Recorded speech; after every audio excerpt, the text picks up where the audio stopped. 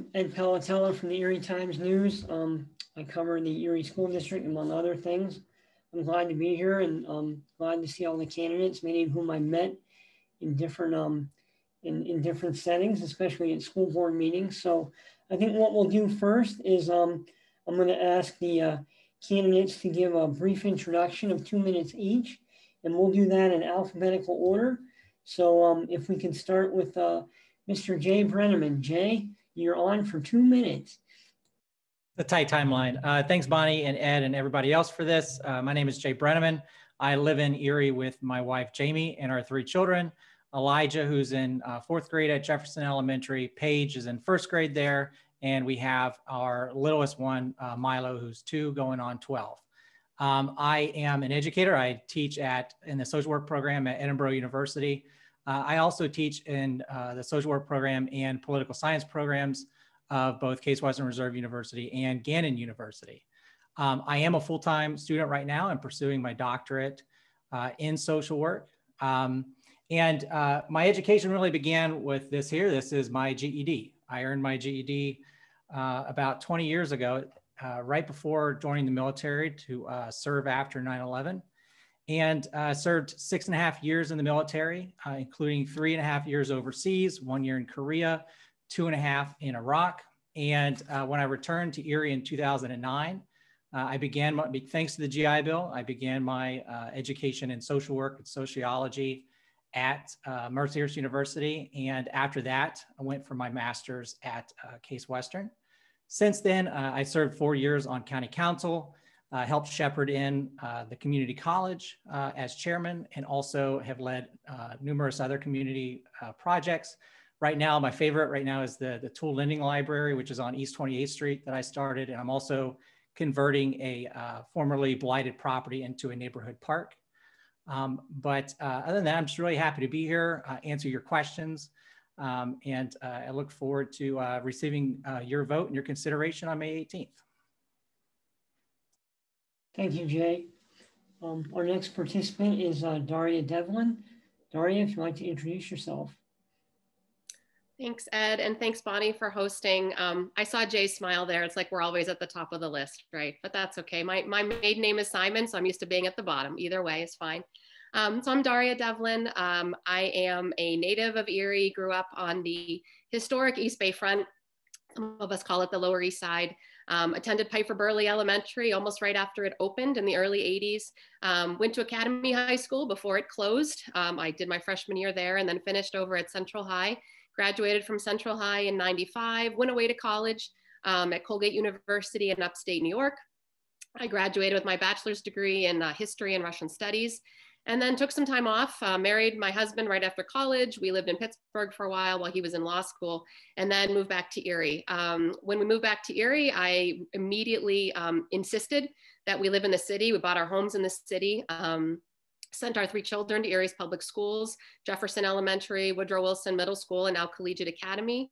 Um, along the way, I gained my uh, Master of Educational Leadership from Edinboro University, and I went to work for the district. I was hired back in 2013 as a grant writer for the Erie School District. During my time there, I wrote the first grant for the community schools program that now has taken off. I'm so pleased to see that constantly being expanded. It's such a great program also wrote the grant for the Tech After Hours adult education program, and then took over as communications, PR, and marketing for the district in 2015, um, where I had the unfortunate responsibility of helping to close a number of our schools at the time. I was part of and led the fight for funding in Harrisburg, um, and then really had the privilege of sitting with our youngsters as we rebranded and recreated um, what is now Erie High School. So I'm running because nothing's more important to me than the future of this city, and that means public education. Um, I'm committed to the district, both personally and professionally.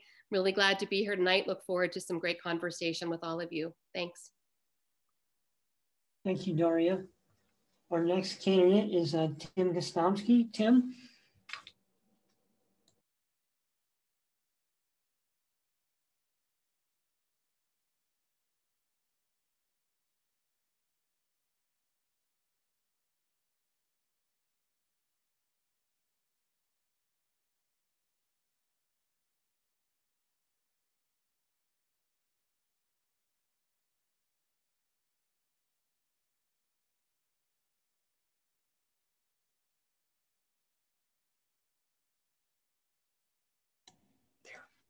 Uh, I'm sorry, I forgot to Tim- turn on the audio. Tim, why don't you start from the beginning, okay? Sure, We'll, uh, I'll- okay, I'll keep an eye on the clock, but why don't you start from the Okay. beginning?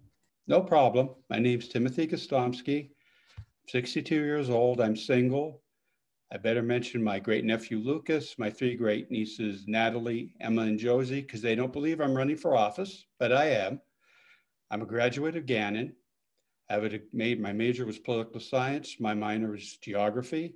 Taken several courses since then in both education and computers. I've lived in the same house on the east side, 24th and East Avenue, for the past over 50 years. Okay, I'm running for office because I really think these we need to keep a close eye on these school districts and its finances.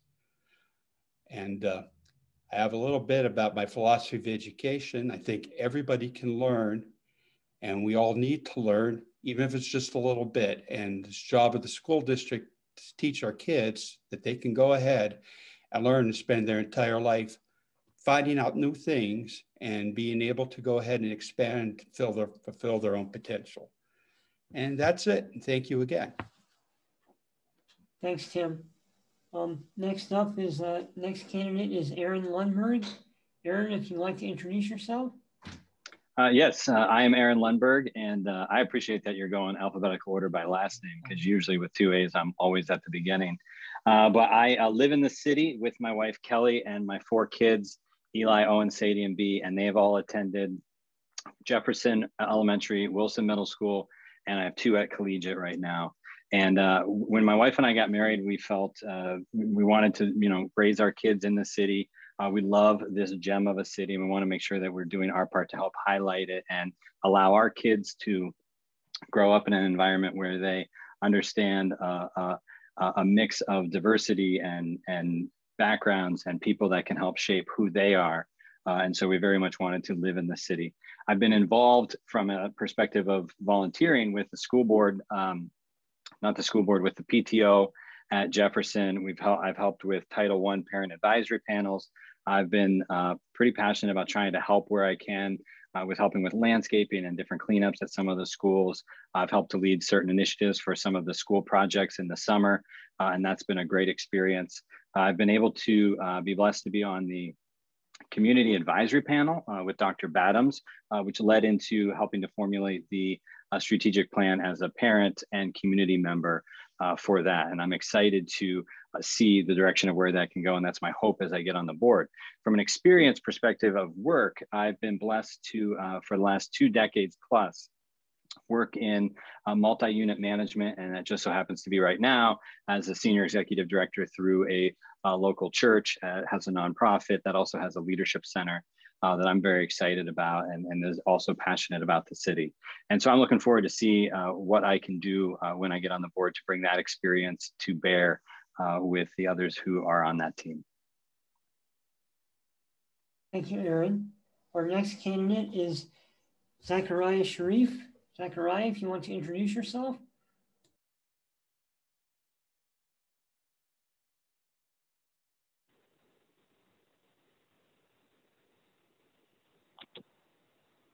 Hello, can you hear me?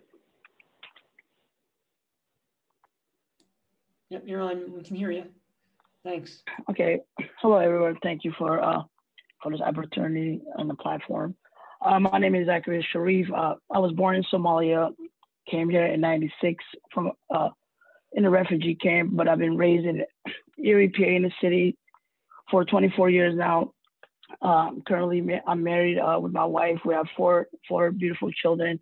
Two of them, two of them currently attending uh, attending uh, Lincoln Elementary School. I, I myself went to the uh, uh, Erie Public Schools uh, from Grover Cleveland to Connell Burton and graduated from uh, East High, the old East High School in 2006. Uh, after that, I continued my education at Penn State University, where I received my bachelor's degree and minor in marketing. While there, I also worked at the Health and Wellness Center as a peer health educator. After graduating from college, I worked in the hospitality industry for 12 years as being a manager, and for for those years, uh, I was a general manager. Currently, I'm employed at the Erie County Department of Health as a public health educator. I am a certified tobacco prevention specialist. Uh, I'm certified in uh, mental health, uh, mental health with the youth and adult. Uh, and the reason why I'm running uh, for school board mainly is I want to be involved in the community. I've been involved in the community. I was a, I've been while going to Penn State. When I came in the summertime, I used to be, I used to tutor at McKinley School, Wayne at the time Wayne Elementary School, and I believe that currently uh, that our, our curriculums need to be relevant for our our students. When I say that, we need like more gear of courses that that's going to get our students ready. Some some kids might be interested in uh, technology, science, and engineering. That we need to have some of those core classes to get them prepared uh, once they want to go to college. Currently now, starting the uh, community college, we need to develop a curriculum that will connect our our our our students from high school if they want to attend two-year college because we know that sometimes not every student will want to go to a four-year college. So what a great opportunity to to revamp our our courses.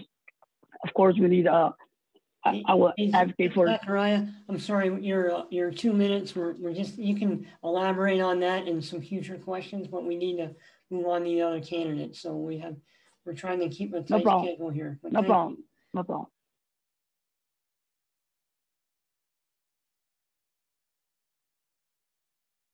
I'm sorry, Depend. Our next candidate is Depend Tama. Depend, are you here then? Um. Yeah. Hi. Okay, good great. evening. Good evening, everyone. I am so sorry. I have to leave. Um. This girl just.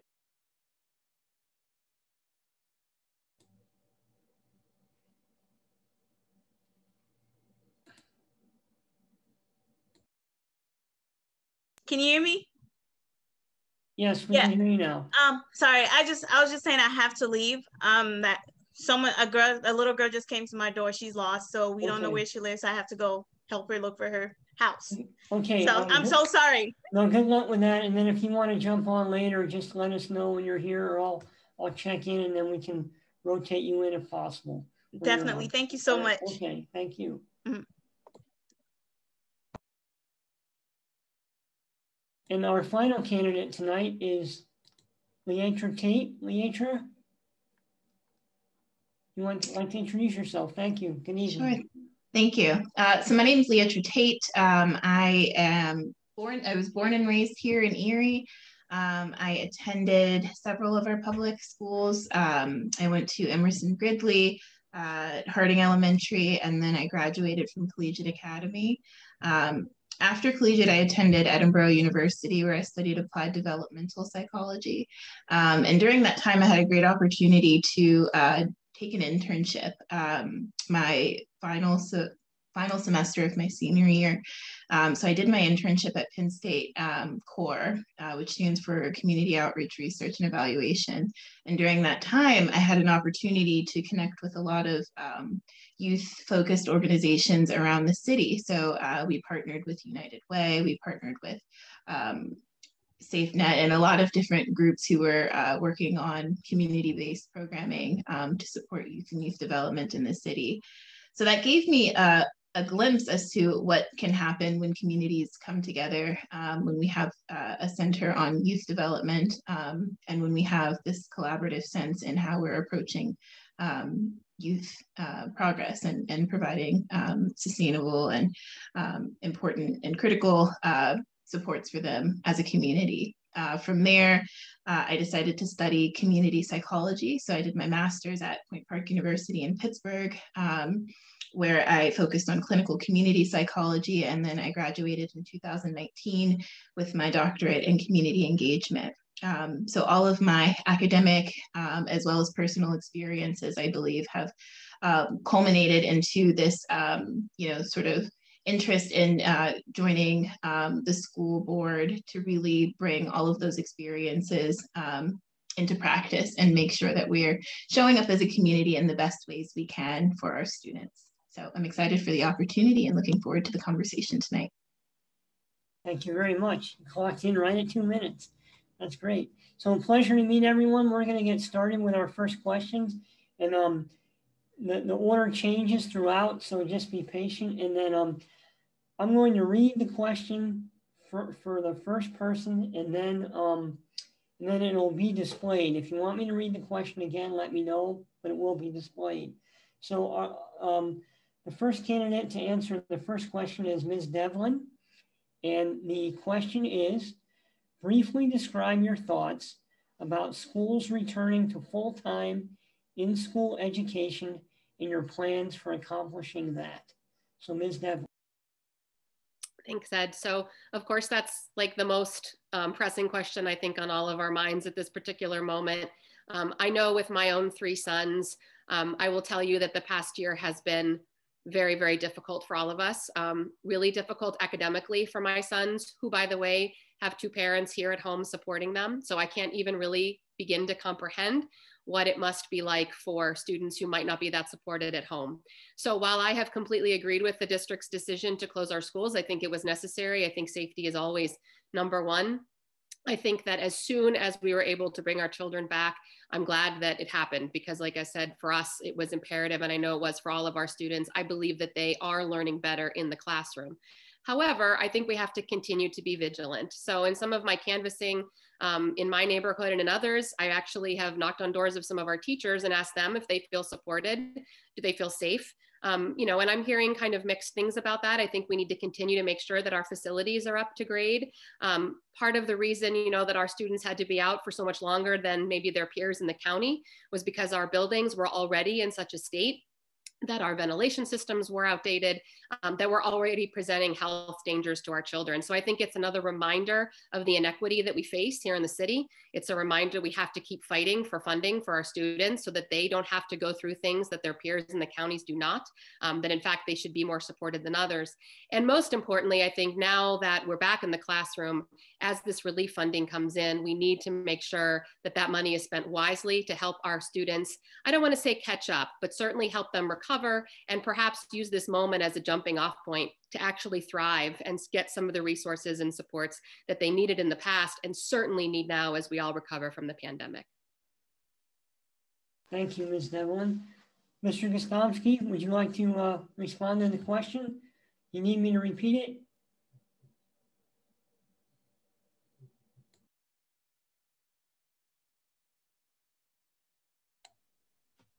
You need. Well, Do you hear me? Yes. Not anymore. Okay. How do you hear me? Yes. Okay, now we got this straight, I think. Okay, yeah, could you please repeat it? Briefly describe your thoughts about schools returning to full-time in-school education and your plans for accomplishing that. Okay, thank you. I believe the schools should return as soon as safely possible to full-time education because for most students, that's the best way for them to learn. Okay, the best thing the district can do to that is to take a lot of this money that we're going to get and put it into the updates into the school, into such things as improving the ventilation and other, other, you know, the spacing and stuff for the students so that this can be accomplished. Okay, thank you. Thanks, Tim. Next up is uh, Mr. Lundberg. Aaron, would you like me to repeat the question? Uh, no, I'm good. Thank you. Okay. Um, I, I, uh, I, am going to repeat a little bit of, of what has been mentioned. Um, I agree that as I've been walking around, there is mixed feelings uh, from both parents, uh, teachers, and students. Uh, and I think this can sometimes fluctuate between the, the age of the person, students of elementary versus high school or whatever. And there's a recognized comfort level of different uh, people with different um, backgrounds or whatever might be going on at work, whether the parent works in the medical field or whatnot. And so I think we have to think as in, innovatively as possible to make sure that we're not only providing safe environments, but also providing options. And so uh, we're coming out of a, a season, especially with this infusion of money, where we can get creative with uh, what can we do online for the students that need to specifically be online, but be supported well, and how can we come around the teachers that are specifically earmarked for that, and how can we come around the, the students and the families that are comfortable coming into a well taken care of and sanitized uh, facility that allows the students to have a good, proper learning environment there, and that transcends to extracurriculars, to different programs so that the students can have that full high school experience. And while I want to applaud the uh, current and you know team and board and administration for what they've been doing, I know it's been hard. um, as, as I've had to experience that with an organization I lead. Um, I do want to say that first and foremost, the, the main thing that we need to make sure we're doing is providing uh, care for the students and the teachers from a mental, physical, and uh, social well-being of the environments that they're in. That this pandemic, as we all know, has taken on a, a wide array of feelings, emotions, and thoughts, along with struggles, uh, especially with the wide variety of family situations and working parents who's working first shift, first shift or second shift. Um, we have to be innovative in how we come around those needs to make sure that people are uh, taken care of by their well-being, and that's going to help us as we move into the future uh, to have the right learning environment. Thank you, Aaron. Um, next up is Mr. Sharif. Would you like me to repeat the question? Uh, no. So uh, the same thing. Some of the things I might just repeat as as already mentioned. Uh, uh you know, I'm also work some days from home, and my wife's a full time stay-at-home mom, and that's even more than a full time job. And and you know, it was tough for our kids to be on a Zoom, let alone as an as as an adult couldn't focus. So I'm I'm really happy as uh, the school district worked with the Erie County Department of Health to try to make sure we have safety measures for our students and our teachers to be back in school because the best way for students to learn is in person because let's let's let's let's face it that our our district was not built for this uh, you know they with with the virtual learning uh, one of the things that i would love to see was in the first time with the covid uh, relief that the school uh, received. I wish they would hire some social workers, mental uh, uh, mental health staff to accommodate the students because being off on online schooling for a whole year and now getting back, I, I know a lot of kids need that social support. And I, I hopefully, and with the next uh, school board, like we will work on getting more social workers and behavior, uh, mental health uh, staff on board in the school district. Thank you. Thank you, Mr. Sharif. Um, Ms. Tate, you are um, you're up now with this question. Would you like me to repeat it? No, thank you. Um, so, uh, as my fellow candidates have said, um, you know, there are a lot of elements of what we need to change long term. Um, so I'll just, uh, you know, instead of uh, saying some things that have been said already, I'll say a couple of thoughts that I've had that um, are more short term um, in terms of what needs to happen um, at you know the start. So as we're thinking about our students returning to full time um, as uh, zachary mentioned there are so going to be some significant mental health um, and just socio-emotional supports that our students are going to need. Um, so i really like the uh, idea of potentially partnering more extensively and expansively with our community organizations that we have in place um, so I think the district would do well um, to create some of those formal or informal partnerships um, with our community organizations that have been um, long, long-standing supports for, um, you know, significant um, demographics and populations in our community to help be sort of a stopgap for that as the district is thinking about longer term support, such as hiring more, um, you know, social workers and behavioral and mental health um, um, you know staff uh, in the at the district level. Uh, another thing that has really just sort of um, been a part of my um, thoughts around the return to schools is I wish that there would have been more of an emphasis on teachers having access to vaccinations um, as part of that plan for returning to schools. Um, our students and our teachers need, uh, you know, protections as well when it comes to COVID. So um, I wish there would have been more of um, a push to have those vaccinations offered potentially earlier to our educators as they were returning to the classrooms. Um, so those are some of the things that I uh, think about in terms of uh, short-term offerings uh, and needs. Um, but you know, there's an extensive amount of long-term um, supports that the, the district can really uh, be, can and should be at the forefront of. Thank you. Mr. Breneman. Yeah, so I, I have a lot of thoughts actually. So um, some of them are uh, my firsthand experiences. Some of those are from uh, teachers and parents who have reached out to me. Uh, beginning last summer, I was uh, very disappointed in the type of data and information that was coming from uh, the county in regards to uh, how the virus was being transmitted across the county. Um, being a, a, data analyst by uh, experience, um, I put together my what I knew how to do and started sharing with people online uh, the trends and, and some of the, the things that were happening in the community with regard to the virus. Uh, and in that, um, uh, I had a lot of people were uh, talking to me about their feelings and experiences in the workplace, uh, which the schools are also a workplace, but also for their students. And one of the things that I think uh, stuck with me the most was the lack of consistent communication or long-term planning by the school board. Uh, we witnessed in October the school board had, uh, they knew that cases were rising. They discussed that. Uh, they knew that there was going to be some disruption, but they still went forward communicating to parents and families that there was going to be this hybrid option, that people were going to be able to choose between online versus in the school. But they knew that cases were rising and that they were, may have to back down, in which they did last minute, which caused uh, teachers to have to move between buildings. It created all, all kinds of uh, problems for teachers and educators, but also for families. Uh, and and then all throughout, even up to you know February, this this messaging of play it by ear. I think it's our our role as uh, school directors to focus on not just the, the idea of going back to school, but the idea of safety of our children.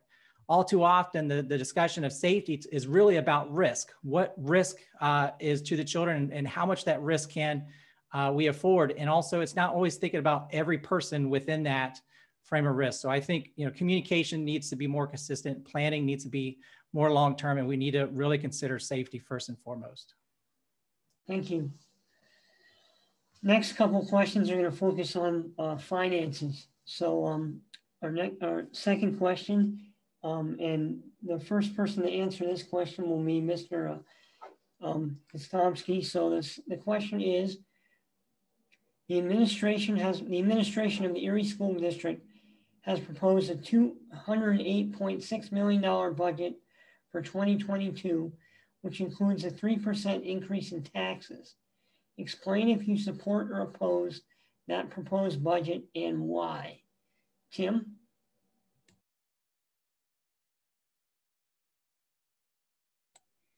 Here we go. Now do you hear me? Okay, yes. Yes.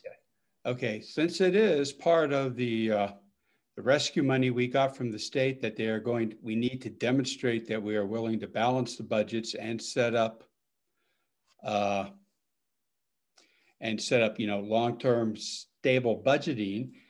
Uh, fortunately, we're probably going to have to go ahead and have that tax increase. And I own two properties in the cities. I mean, as a property owner, I may not like it, but sometimes you have to do things you don't like to do and to get the district out of the long-term hole they had, had been dug into if we're going to have to sometimes bite the bullet and do things that we may not want to do. So I would tend to support something like that as long as I saw the increase was what was absolutely the minimum necessary. Thank, Thank you. you. Mr. Lundberg.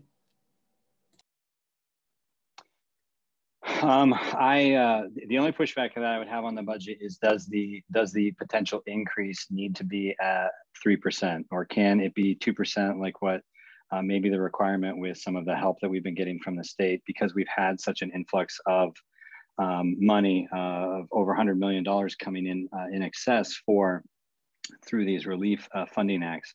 But the reality is, uh, we are still not into the safe zone of uh, reserves and how we're managing our assets completely. And uh, that's going to take just some trust and understanding and patience from the community because there's been a big righting of the ship that we have had to, you know, that our board and, and the administration has had to work on. And we've, we've come a long way, uh, but we need to continue to demonstrate that we can't just automatically not have um, tax increases or uh, where costs are going up. I mean, costs for lumber is going up. Different costs are going up for a variety of things, and we need to make sure that we're continuing to take care of, of our programs currently in place, not just what's going to come with this funding, uh, but also that our teachers are taken care of, that students are safe, and that we're continuing to elevate our programs and what we are offering through curriculum and standards for our children, uh, as well as build up a uh, a proper fiscal plan that plans for new things in the future that um, we quite frankly didn't do in the past. And so we need to be prepared for the next roof leak. We need to be prepared for the next problem. And we have a bunch of building issues to still repair. Uh, so it's not just programs, it's buildings too. And we need to be able to do that well so that we can forge into the future and that in future years, after this whole recovery plan and uh, just the strategic plan that we're doing to get to the right funding place, that we're not constantly doing three year and four year or 3% and 4% and 5% tax increases in future years. We need to right the ship now, but we have the momentum and the opportunity. Thank you. Mr. Sharif.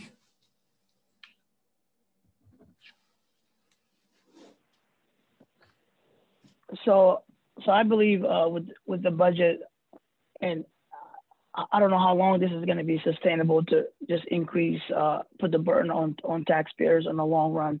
But you know, right now it is what it is. However, I know just after sp- speaking to the superintendent, he spoke about even after receiving the funding from the uh, with the with the Rescue Act and whatnot, they, this helps only short term. This is not long term. The school after that money is out, they're gonna we're gonna be in the and a whole 7.3 million every year after that five to seven years.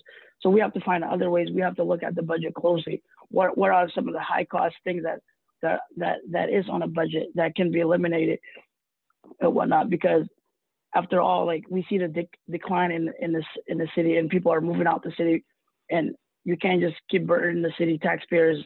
Of course, we have to take responsibility.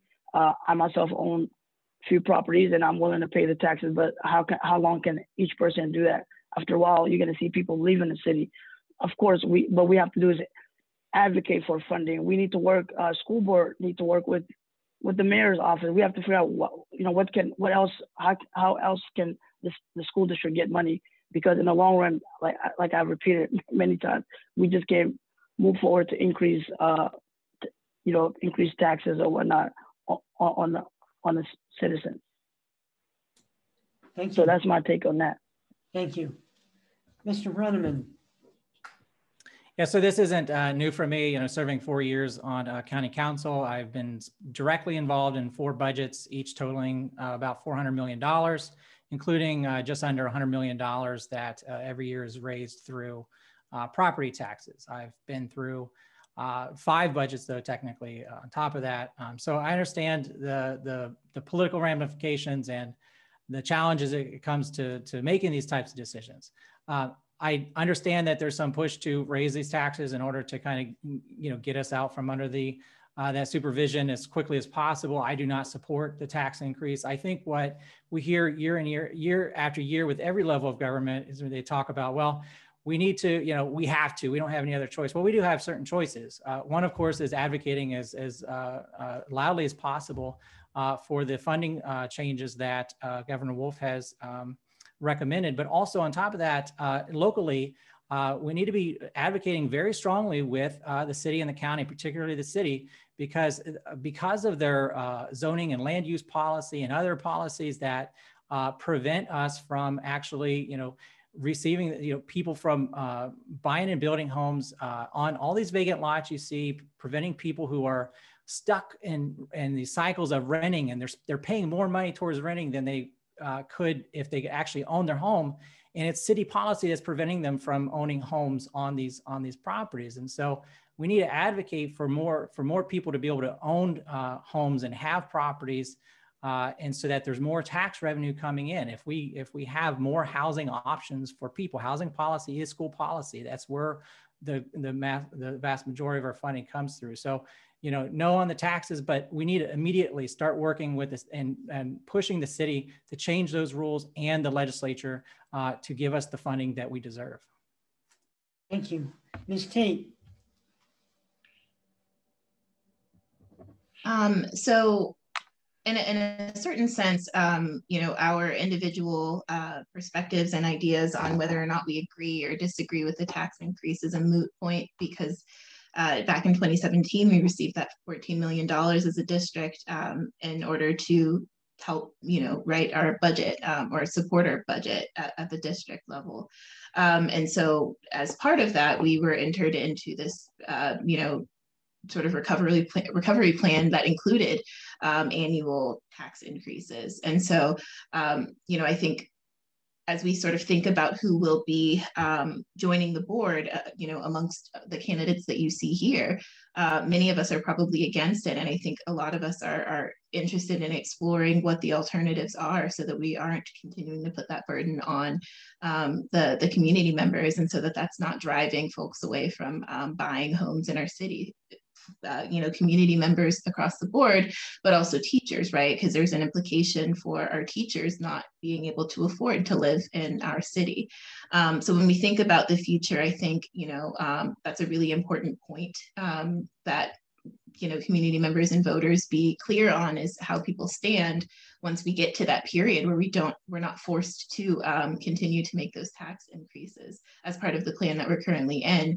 Um, but i agree with uh, jay that it, it, really comes down to um, you know the community advocating at the local level with our, our city council uh, at the county level with our county council at the state level uh, to make sure that our le legislatures are clear on where our community stands um, because i think for far too long, Erie has really, the city of Erie has really uh, taken the burden of what has been long-standing, decades-long uh, mismanagement of the budget at the district level. So I am not in support of the tax increases, but I understand why they're continuing to happen, and I think we need to um, be mindful of how to move forward without them.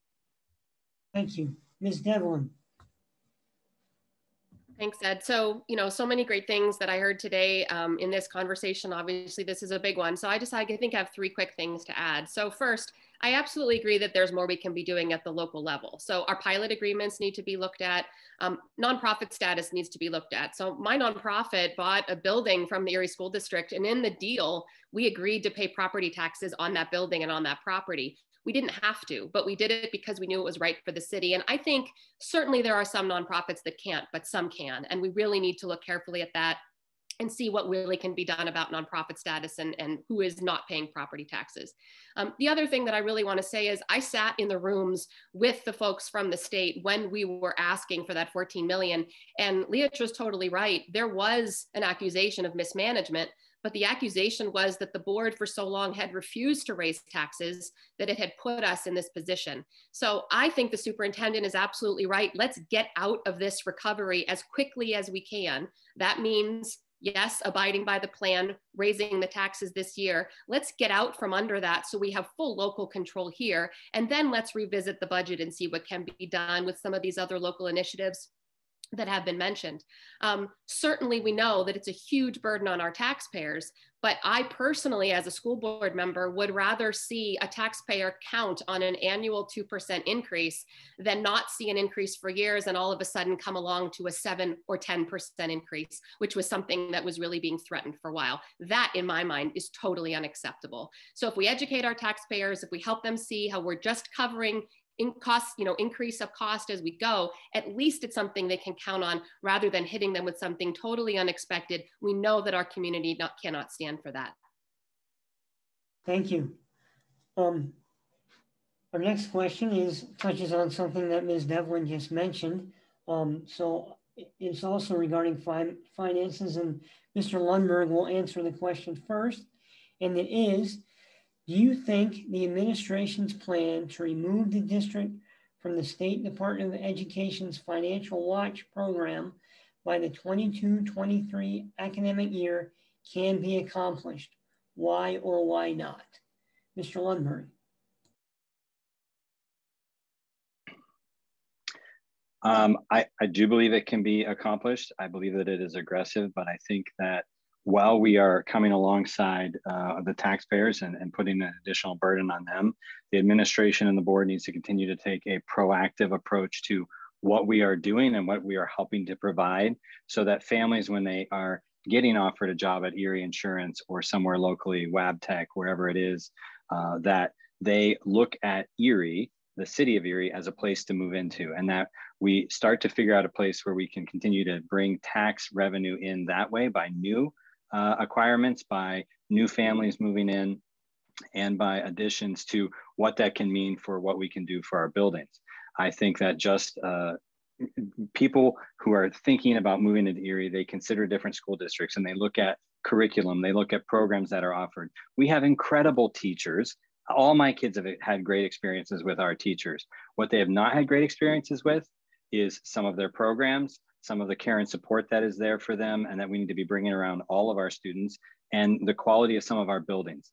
Uh, we can barely mow some of our buildings properly. And I know that that's a, a stick in the side for some people uh, to think, why do I keep bringing that up?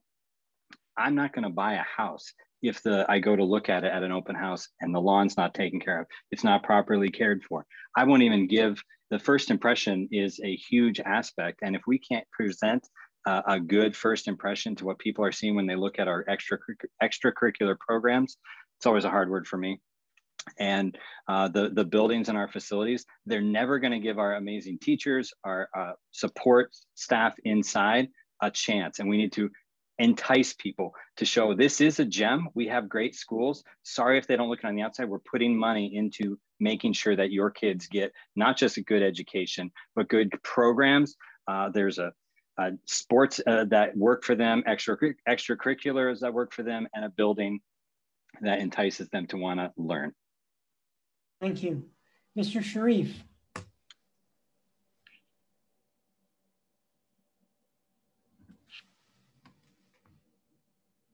Mr. Sharif, can you hear me?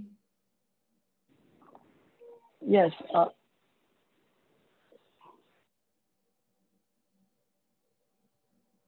Are you there?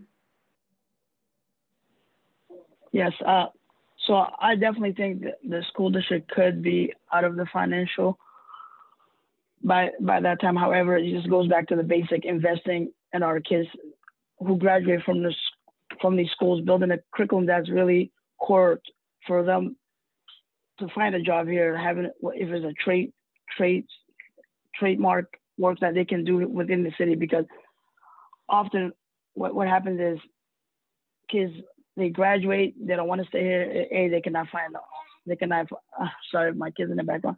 They cannot find a job here so they go elsewhere. And and that's just another tax money that's being that's being lost here in, in, the, in the city. So it just is going back to the core as as already mentioned, that we just have to uh, make make sure that uh, that going back to the basic that we're building our our students up and uh, they, they have the right curriculums for them to graduate. Hopefully, find a job within the area, area here, working with those big corporations, how they can build curriculums to hire uh, our students here. Thank you, um, Ms. Tate. Thank you. Um, so I would say I agree with Aaron that it's um, it's ambitious for sure, but I think um, this is something that we need to be uh, and make a, a ambitious goals um, and aggressive goals and aggressive plans towards. Um, I think there's an opportunity there, um, as you all, you know, probably know, with the the money that we're getting with the Recovery Act. A lot of that has been earmarked towards some really important um, elements that we need, uh, such as our student support programming and um, student support offerings from um, that mental and behavioral health side of things uh, that we haven't had or been in the financial um, place and position to do as a district. Um, and that fund that funding isn't necessarily in place for us to write some of the, the previous budgetary um, challenges that we've been faced. So I think that that uh, you know the administrative the administration's decisions to earmark that money towards um, you know sort of future focus. Uh, programming and offerings is, is critical um, in conjunction with the plan um, to uh, you know get itself removed from um, this financial watch. Uh, part of that is, uh, you know, we don't necessarily have a financial advisor who's uh, part of that decision making anymore, um, as they left last year. Um, so that is, you know, something that while it's an aggressive um, and ambitious goal, it's it's something that's also still very real, and there's still some um, critical uh, errors that you know can can throw a wrench in that. But I do believe with the right um, goals and, and with folks who uh, are understanding of the holistic approach uh, that needs to be um, part of the, the future of you know what our budget looks like um, it, it's possible. I, I agree with that that it is possible. Thank you. Thank you. Mr Breneman. I, I think it's worthwhile. Uh, the you know anybody here who makes it through and gets elected as a school director you know we're we're mostly going to be get, just like with a, a possible tax increase. We're going to be uh, living for at least the first year, our first year, with whatever decisions the current board makes. So I, am just hoping that they make the right decision. But um, as I tell my policy students, uh, I tell them that you know policy is written, can be unwritten, and can be changed. Uh, I don't. I wouldn't say that uh, we just uh, accepted it, but I haven't seen the type of uh, vocal, uh, um, you know, the vocal advocacy in order to not accept accept what we're in. There's no reason, you know, the when when you see these type of policies, when you see even when it comes down to what people deal day to day, whether it's qualifying for uh, for SNAP, qualifying for uh, education benefits, you name it, um, unemployment, eh, there's this draconian sense of like you did something wrong or uh, you need to meet these certain goals in order, you know, our own, uh, you know, these these these perceptions of moral failing, failings or bad decision making when in reality the problem with this all started with the state. The state legislature owns the problem but they're they're forcing us to to adopt this as it's our it's our problem. It's our mistakes that we made like like Dari was saying is as if something that we did and then we have to make uh, more challenging uh, decisions that hurts us still in the end. It still continues to hurt us. And so they're hurting us twice with having kept this funding from us uh, all these decades, uh, giving us uh, a little bit more, but not enough, and then forcing us through to jump through these hoops that we shouldn't have to jump through. And so, uh, you know, I, I, think we need to meet uh, this and just uh, not only try to, to live within the, the, the guidelines that was set, but also to to voice opposition and to try to get us out from it to begin with, because that can be done as well. Um, you know, the advocacy to do that is what we should be fighting for. Thank you. Ms. Devlin. So I absolutely think that it's a goal that can be achieved. Um, this district has done amazing things in the past number of years, and we have amazing teachers, as has been mentioned. I think our administrators are truly committed to the work that they do. Um, we know that there are families who care deeply, and so yes, I think that this is something we can achieve.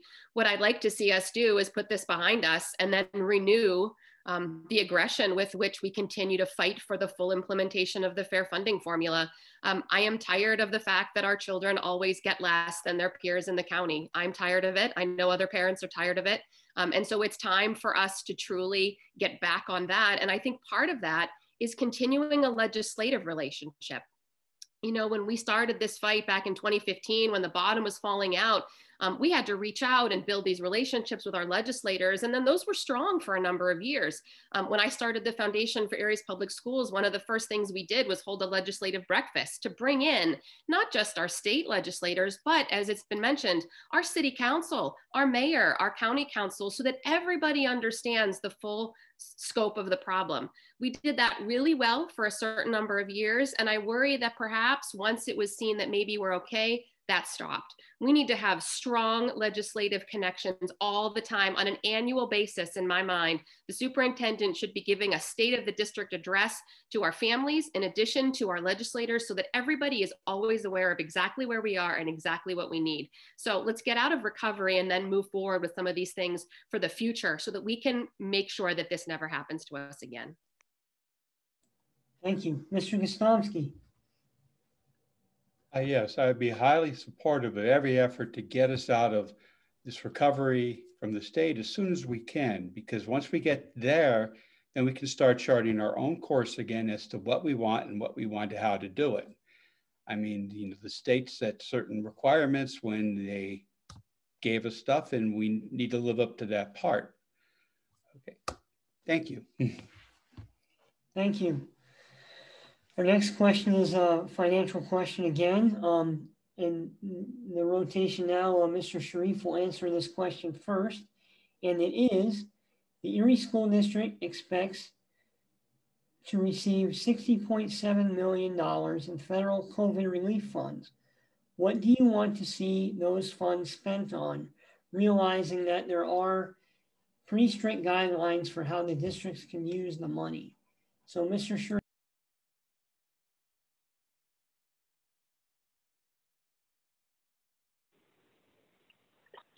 So I think I've touched on this question, uh, on this answer a little bit earlier, but uh, so we know that, of course, some of it is going to help with uh, making sure like the school district is uh, balancing its budget. That's as I was told, that's what they're going to use, trying to within the next five, seven years, use some of that money to help uh, budget. However, also, uh, as I mentioned, we need to hire more of uh, the social workers, uh, mental health, and behavioral health uh, staffs, and making sure that we have a continue to have the safe, safety measures for our our students, our teachers, and all, all, all the staff in the in the district.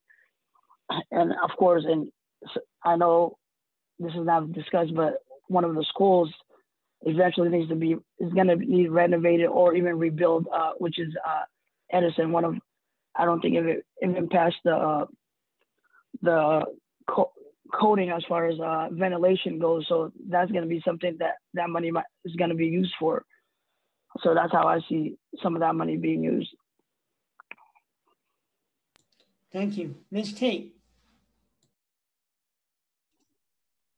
Yeah, so I've um, touched on this a bit as well. Um, I, I, know that um, some of that money is going towards um, providing those uh, supports. I'd like to see student support officers who, uh, you know, are resource coordinators for our students and families in the district. Um, and I know the district has, as part of its strategic plan, um, uh, they're working towards making efforts to uh, bring in some of those staff people who can um, work to support our students and their needs in the everyday and make sure that they are uh, getting the appropriate supports in the schools um, that they need.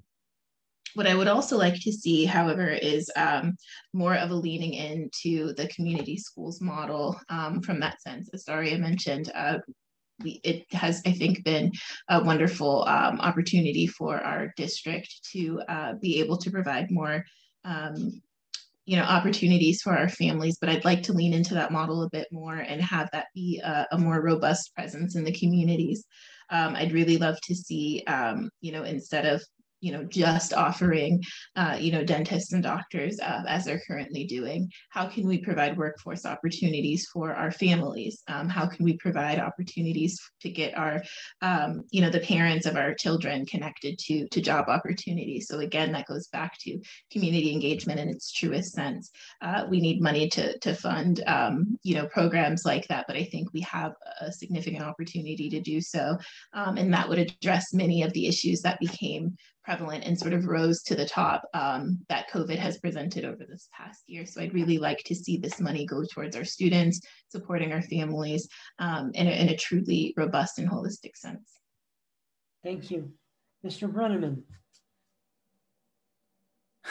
Yeah, I, I, you know, when I when I think about any any for me any decision that we make on school board uh, has to have uh, the children and their families in mind and at the center of it um, you know, buildings are buildings. And as we've seen with COVID, but as families have been experiencing for decades, that um, the life experiences of children and their families outside the school building directly affects their ability uh, to thrive and, and to learn in, uh, in school. So uh, for me, I, I, want that, I want that to be our focus. I know that, um, uh, you know, when we think about the, the challenges that students have faced in the past uh, year, you know, my hope is that we don't talk about our students as from a sense of being behind because they've survived this. And um, I think we need to focus on those types of supports that uh, the children and their families need in order to be successful in what the future, what they're going to have to face. And for me, that means, you know, what's happening over the summertime, what's happening, you know, weekends, you know, hours after school, all those things that um, our children and their families need and, and to make sure that we're still investing in those uh, the things that are adaptable. Because you know although the vaccine should be uh, available to most school age children by the end of the summer we're still uh, you know, facing you know deadlier forms of the virus and and um, and unknown disruptions that may happen in the future.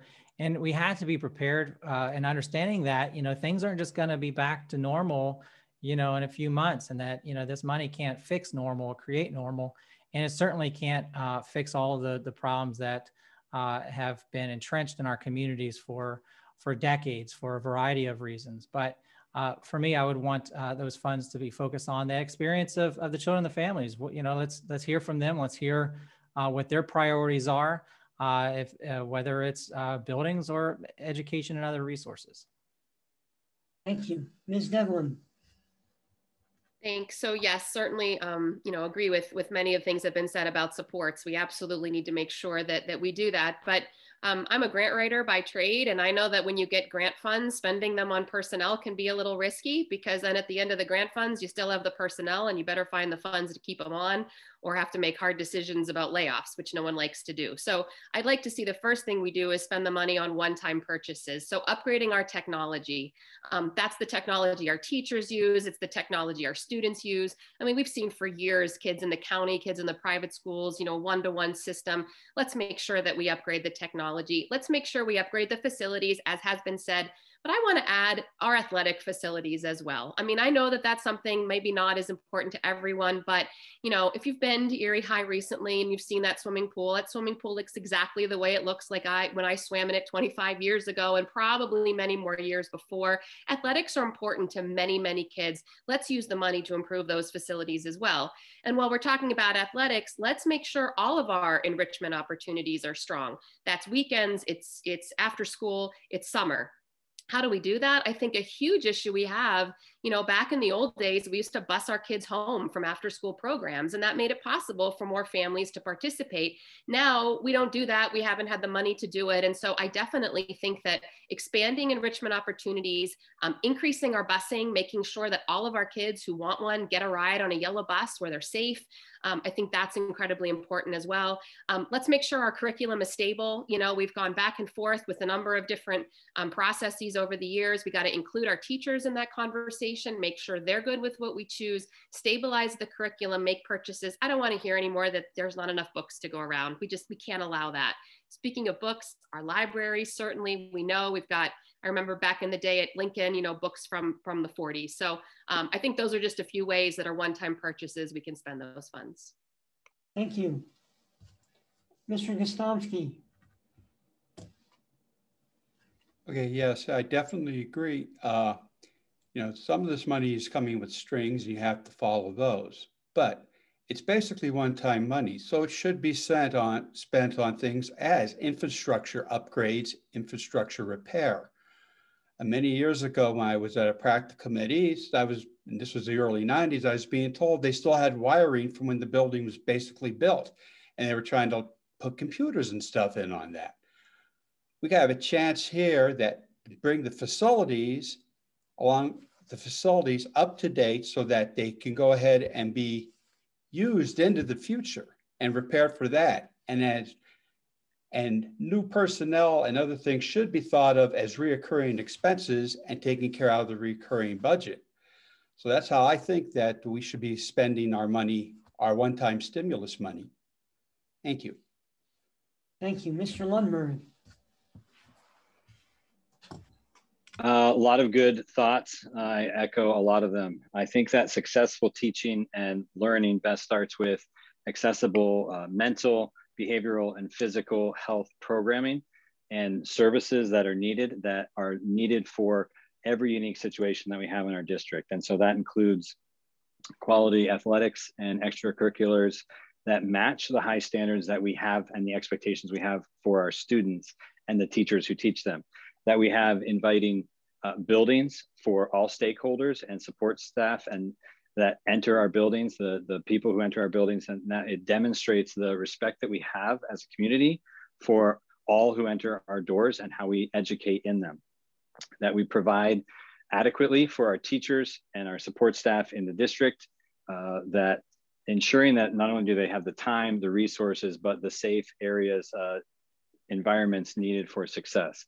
But I will say, ultimately, all of this doesn't matter if we don't listen first. We have done a really good job of bringing in an expert to help us with a strategic plan. We have done, uh, well, we're in the situation where we have experts and, and people uh, helping us from the state with our finances. Uh, we need an aggressive plan to talk to and communicate with our teachers, our students, our parents, and our support staff for how to best meet the needs of their children coming out of this pandemic that we have this funding for. If we just go and first make a bunch of decisions from what we think is best, that's not going to work. And so we need an aggressive plan. And maybe it's going to take some of the funding to get a bunch of people in the room, to, to get out to different parents, to understand better what their needs are as we're trying to solve this and use this money wisely. And I think sometimes we miss the buck with who we communicate with that the board can sometimes make decisions and not fully understand the ripple effects of how that decision might affect the teachers, the parents, or the students. And we want to come alongside and make the best decisions possible. Thank you. Next question, I'm just going to drill down a little bit more on technology. And then um, in terms of the order, the order is going to be the same for this question only because we had some people who um, weren't able to make it tonight. So it so it skewed the order a little bit. So I don't want you to think there's um, a conspiracy on my part. I'm just following the, the, the math here. So my next question is um, about technology. Um, how do you think the district should improve technology, um, whether it's using the stimulus money or other money? What would the focuses be on technology? Mr. Um, Sharif, you're up on that question first.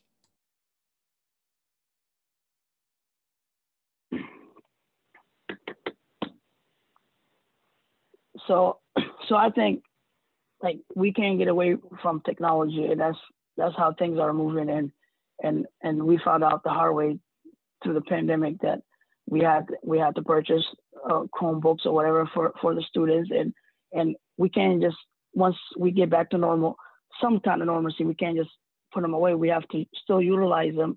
So we have to think like how can we also continue to uh, train our teachers to use these technologies. And, and you know, uh, Daria mentioned earlier about we don't have enough money for books. And what, what, a, what, a, what a good way to segue to use these uh, technology, maybe get a cheaper price on uh, ebooks and the kids can actually use them. Every student can have. And, and I think this, I mean, as, as, as bad as COVID is, it, it brought out a lot of opportunities, uh, showed us that our, our district is, is not equipped technology. And another thing that I just want to touch base on is a lot of students don't have that capability of having access to a strong internet at their house. So we need to work with our parents, uh, with the parents and engage. Like we need to find out that's that comes that social worker connecting with, with the parents, like who needs help because I can tell you, I, I thought we had a strong internet and me working from home and my two kids being on it and I still have weak internet. So we need to work better at that and figure out like how can we reach out to parents, make sure they have good connectivity because teaching teaching our students the way we did in COVID is just going to continue and it's just going to make our district better. So we should uh, definitely we need to continue to upgrade our technology use. Thank you. Thank you, Ms. Tate. What would you like to see uh, the focus of technology be for the district? Thank you. So I'd like to see um, opportunities for teachers to integrate technology into the classroom. Um, what I mean by that is having laptops or tablets or uh, Chromebooks, as uh, you know, our students were using, have those integrated into the classroom so that it's not this big jolt and big uh, change for our teachers and our students to make an adjustment should something like this happen again, where they have to do an extended period, um, you know, uh, doing school remotely um, or virtually. Um, so more integration into uh, everyday class, everyday instruction. Um, and I think that's also helpful for um, educators as well um, to have that built into have the ability to build that into their curriculum um, and, and their instruction because as a former uh, instructor myself uh, who was teaching uh, college age students at the time, it was a huge adjustment for me to translate my class uh, in person to um, remote at the start of the pandemic. Um, and if you're not equipped and, and, knowledgeable and haven't had direct instruction and professional development yourself on how to translate and teach effectively um, through, uh, you know, instructional design um, that that translates to remote learning, um, there could be a massive learning curve. So again, I'd like to emphasize um, teachers and students incorporating that into everyday instruction. I'd also like to see um, opportunities for us to better position all of our schools um, you know, Erie High, um, you know, moving forward into our elementary schools um, as well, preparing them for careers um, that are more STEM focused or STEAM focused. So how can we incorporate technology into all of our um, courses and all of our instruction so that our, our kids are prepared for what the workforce will look like moving forward, which is a high emphasis on, um, you know, computers and technology and a high emphasis on, um, you know, science and, and all of those other fields and engineering that they just may not be having access and exposure to currently. Thank you. Thank you. Mr. Breneman, technology. Yeah, so the, the, key word in this question and is balance, right? And so we ask we ask our educators, our, our teachers to balance so much already. You know, they might as well be you know, in a circus balancing, spinning plates on sticks bouncing off their nose, right? Um, they're already expected to to balance a lot in their classroom, and also with their you know their professional development um, new curriculum, uh, new methods, uh, new requirements, new forms, all those things. And um, on top of that, you know, they're, they're human beings. They got uh, family and their own things that, that they have to work with. So I, for me, I'd want to make sure that, and I, I deal with this uh, both as, as a student and as an educator. Um, I've taken and, uh, currently do take uh, hybrid, you know, online classes. my two children uh, have different uh, devices from um, the school district. They're both very knowledgeable in it, but they still have problems with it. Uh, we, you know, and um, for me in a classroom, I and I do teach uh, both graduate level students and um, uh, baccalaureate level students and, and dual enrollment high school students as well. And I've used all sorts of formats of, of teaching specifically online. I actually start teaching another summer class that's fully online here this Thursday. Um, but and I've, I've taught students different technologies, both on some that are in the classroom and some that are um, uh, connected virtually. And there's a lot of issues with that. You know, it's, it's very difficult to chat. It's a very big challenge to, to teach these different formats and, and particularly at the same time. So I think we have to be realistic in that we're not uh, putting undue pressure on, on, edge, on our teachers to uh, understand new technologies or to adapt to new methods uh, on top of everything they're already doing. Um, it needs to be a solution, not something else that's added on. And we have to be understanding that, you know, the different abilities of our students and our children, that uh, the technologies aren't going to be the impact, aren't going to be usable for everybody at the same. And so we can't have the same expectations for everybody. We really need to learn from them. Thank you. Ms. Devlin. Thank you. Um, so I'm not going to pretend to be a technology expert here and act as if I know every single one that should be used because I certainly don't. Um, I absolutely agree that broadband access is critical. So what Mr. Sharif said, I completely agree with. Um, one of my employees from my organization, you know, we're trying to work from home. She has kids um, streaming all day with school. We're trying to Zoom. You know, the in internet strength is just not there. And so you know, I don't know that we can solve that for every single family. I'm sure that there are ways to do it. I'm always in favor of going out to other places and seeing what they're doing. I, you know, I used to say we can't be the first urban district to face this problem. So who's doing what and who's doing it well and how can we figure that out? So maybe we can help our family solve it. But let's also invest in our community resources. I think that was said earlier, you know, hubs where, you know, we can help support the access there and families and students can gather, um, you know, after school on weekends. I mean, I, I know that we have those community organizations out there. Let's support them if we can't individually solve the problem, you know, at, at the family level. So I think that's important. I also think let's use this as an opportunity. Um, so my sons have been lucky enough to be able to take, you know, advanced math. So at Wilson, they're able to take math at Collegiate Academy, you know, algebra and beyond. Um, and in, in when my oldest son did it, we literally had to pick him up every day and drive him back and forth to collegiate. Well, lucky us that we could. How many families could really do that? And that always bothered me. Um, so now that we have this technology, let's use it to make sure opportunities and classes are available to kids at different schools you know what's not available at erie high but is it collegiate that we can you know now offer virtually or what middle school students can be challenged by some of our high school courses i think there's real opportunity here so um, again not going to pretend to know exactly what those tools are but i know that um, someone smarter than I out there knows how to solve those problems, and we absolutely need to bring them in. As I said, look to other districts perhaps um, and use this as an opportunity. Thank you. Mr. Gostomski. Uh, yes, it's a great question to ask the technophobic Luddite about uh, technology. Uh, problem I, I see, and it's, you know, technology is advancing at ever increasing exponential rate on everything. Think, things I learned are, are, are no longer applying stuff.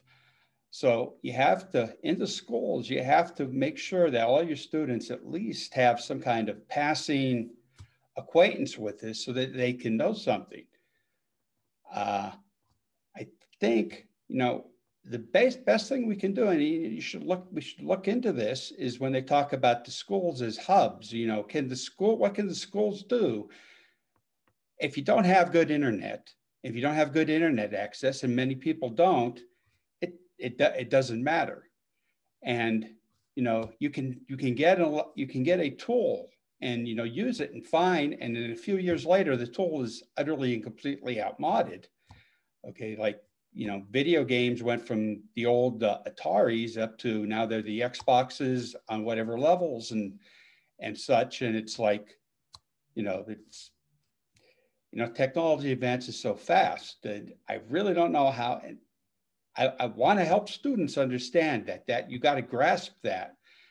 But as to the actual way to do that, I, I'm not sure. But I do, you know, do think the internet access is is a big problem, is the big problem in on all this. That so that if you have something, you can actually get in and be able to participate because learning online and looking things up, that's a great way to expand yourself. Thank you. Thank you, Mr. Gostomski. Mr. Lundberg. Uh, to, to save time, I'm not going to go through and repeat a lot of the great answers that everyone has, has shared. Uh, there's there's two things uh, additional that I'm thinking. One, uh, whatever we do, uh, along with taking care of the unique circumstances for different uh, families and individuals, um, we we need to start thinking. Okay, we are preparing our kids and our students to go out into a world that is going to be full of technology. There's going to be full of new technology by the time they get there. So how are we helping to train them and teach them in that? How are we providing that training and teaching for our students? Uh, what does this mean for our IT staff? Um, we, we need to be rethinking that. And that um, going to take money and a lot of people who are smarter than me. I've struggled myself as I have led meetings at my organization with 25 people in person and 25 people online, and it's very difficult. So I can't imagine, uh, as Jay said, that how the teachers are, are how, having to balance that. But maybe this is a new opportunity where we can think creatively to really start to challenge the status quo and go, okay, maybe some classes for uh, juniors and seniors or a certain age group, we can expand the class size that the attention doesn't need to be as as the same as for a kindergarten classroom. We can focus some attention there with the right number of teachers but maybe we can have uh, 40 students attend one class at a time at a, at a junior or senior level, uh, which is going to prep them for uh, college if that's if that's where they're headed. Um, and I also think technology needs to be we need to continue to stay on top of it for how we are using technology in our trade schools. Uh, that our students are going to leave and they're going to know and have used the type of equipment that they're going to work on when they get hired in a trade uh, to fully utilize their education in Erie's public schools. Thank you. Thank you, Mr. Lundberg. We're a little over uh, halfway through um, our forum, which has gone really well. These answers are, are really enlightening. So we're going to enter now what's called our lightning round. So let's uh, keep it snappy. Um, so I'm going to ask, what would be the best single word to describe why you are the best candidate to be elected to the school board? So what would be the best single word to describe why you see why you are the best candidate to be elected to the school board? And we will start with Ms. Tate and we will move quickly through everyone. So a quick point of clarification, am I just saying the word? Uh, I think just the word. Okay, cool. Uh, collaborative.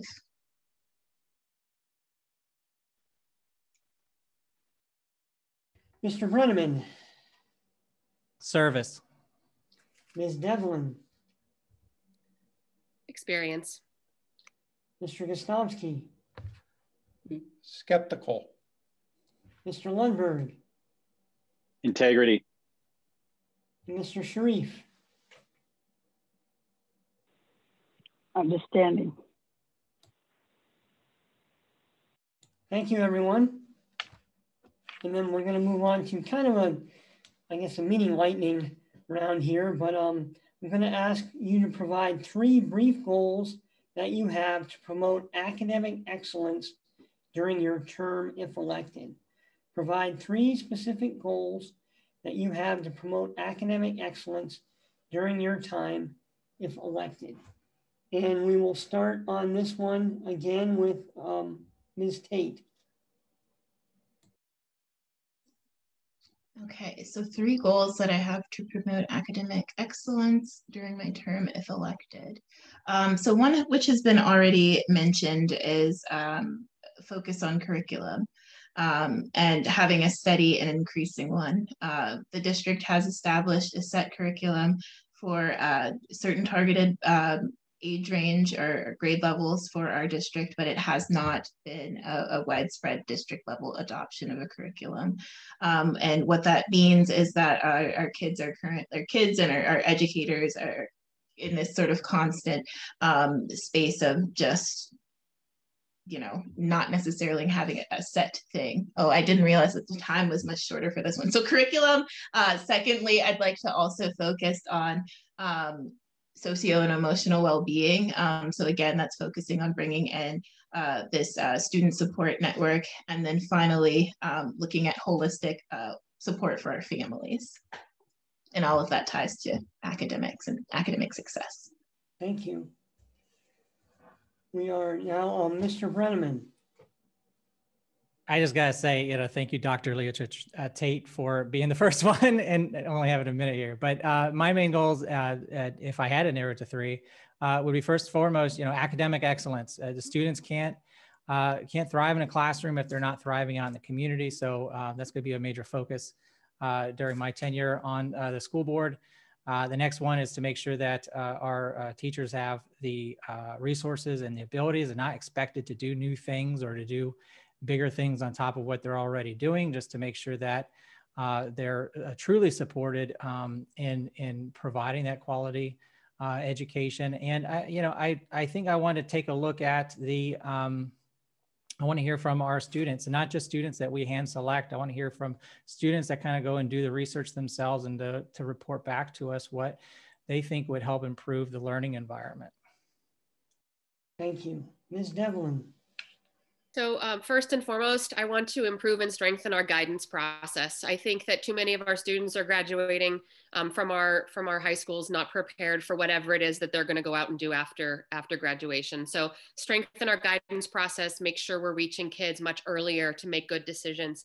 Um, I want to expand the community schools model, but not specifically only that, expand our partnerships, use our partners better, make sure that the strength of our community is truly coming into our school so that we can support our families and students. Um, and I want to expand opportunities and experiences for our kids. Too many of the students we know in our schools, the only way that they have experiences like visiting cultural centers or going on, you know, trips to see other places is through the school. We have a little bit of funding now. Let's bring those things back. Let's expand experiences and opportunities. We know that those things often are the ones that have, that's what makes the little light bulb go off um, for academic achievement. So those are my three.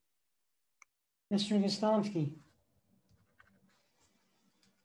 Uh, yes, first I would like to see that all students get the tools so that they can learn, that, that they can spend a lifetime learning things. I would like to encourage students to also to each have, develop a love of learning. It, not necessarily all dry academics, but learning just things, whatever it has to do, you know, with mechanics or, I mean, fiction or whatever else, so they can see that life is about learning new things. And finally, I would like to see more of an emphasis, emphasis on our shared heritage. What, what brings us all together as people here, as opposed to, you know, what, what would drive us apart so that we all realize that we're all culturally one in, in everything together. Thank you. Thank you. Mr. Lundberg.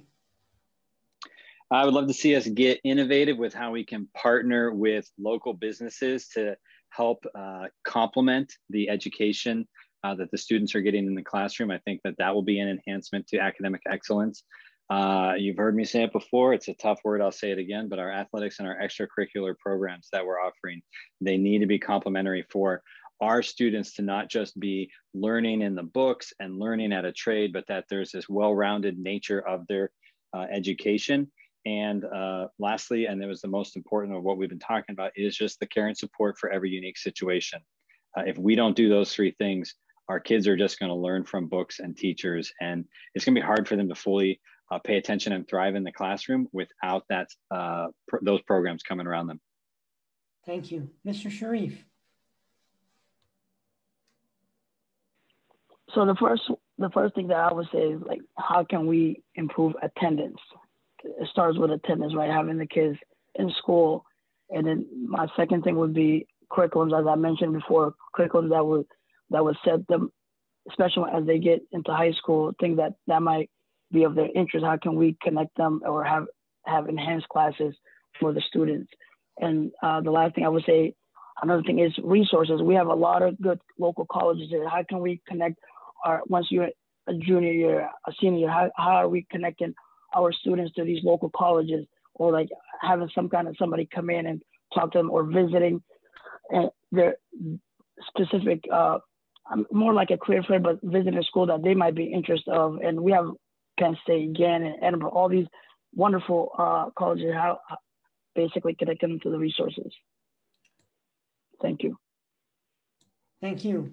Our next question touches on some of the issues that Mr. Sharif just mentioned, and that it is, how can the district address the high rate of absenteeism and dropout rate from our male African-American students?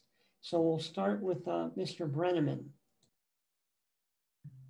Uh, you know, in in my experience, my policy, uh, my experience in um, teaching and studying policy is that um, uh, most of our understanding and even the language that we use is shaped from a very uh, white uh, lens. It's shaped from a certain a lens of certain class.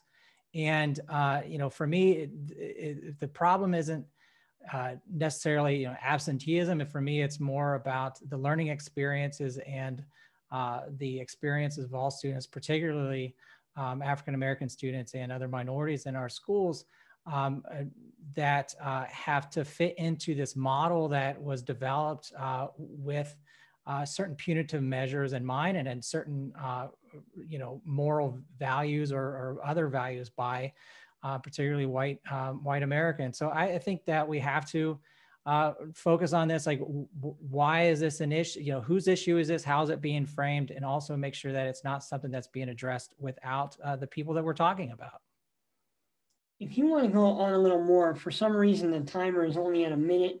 So I will keep track of it. But Jay, if you want to talk a little more yeah, about this, solve solve uh, racism and education in one minute. So yeah, um, yeah, I'd like to hear this. So yeah, so uh, to me, when we when you know a lot of a lot of the things that are happening uh, policy wise in schools, whether it's uh, you know the the police uh, being having the present, whether it's uh, truancy, other enforcement measures, some of these things that um, you know they're they're they're built and and what happens in the classroom what gets said by teachers what type of uh, values or, or enforcement african american children particularly males are are you know there's this thing called adultification that uh, african american children have to go through and and they're they're held to a higher standard. They're treated like adults more than like children. And i say there because i'm white and i don't have those experiences. So uh, for me I would, I would want to understand how uh, from our, all of our students particularly african american students how uh, those experiences in the classrooms are and, and to identify what policies and practices uh, should be changed so that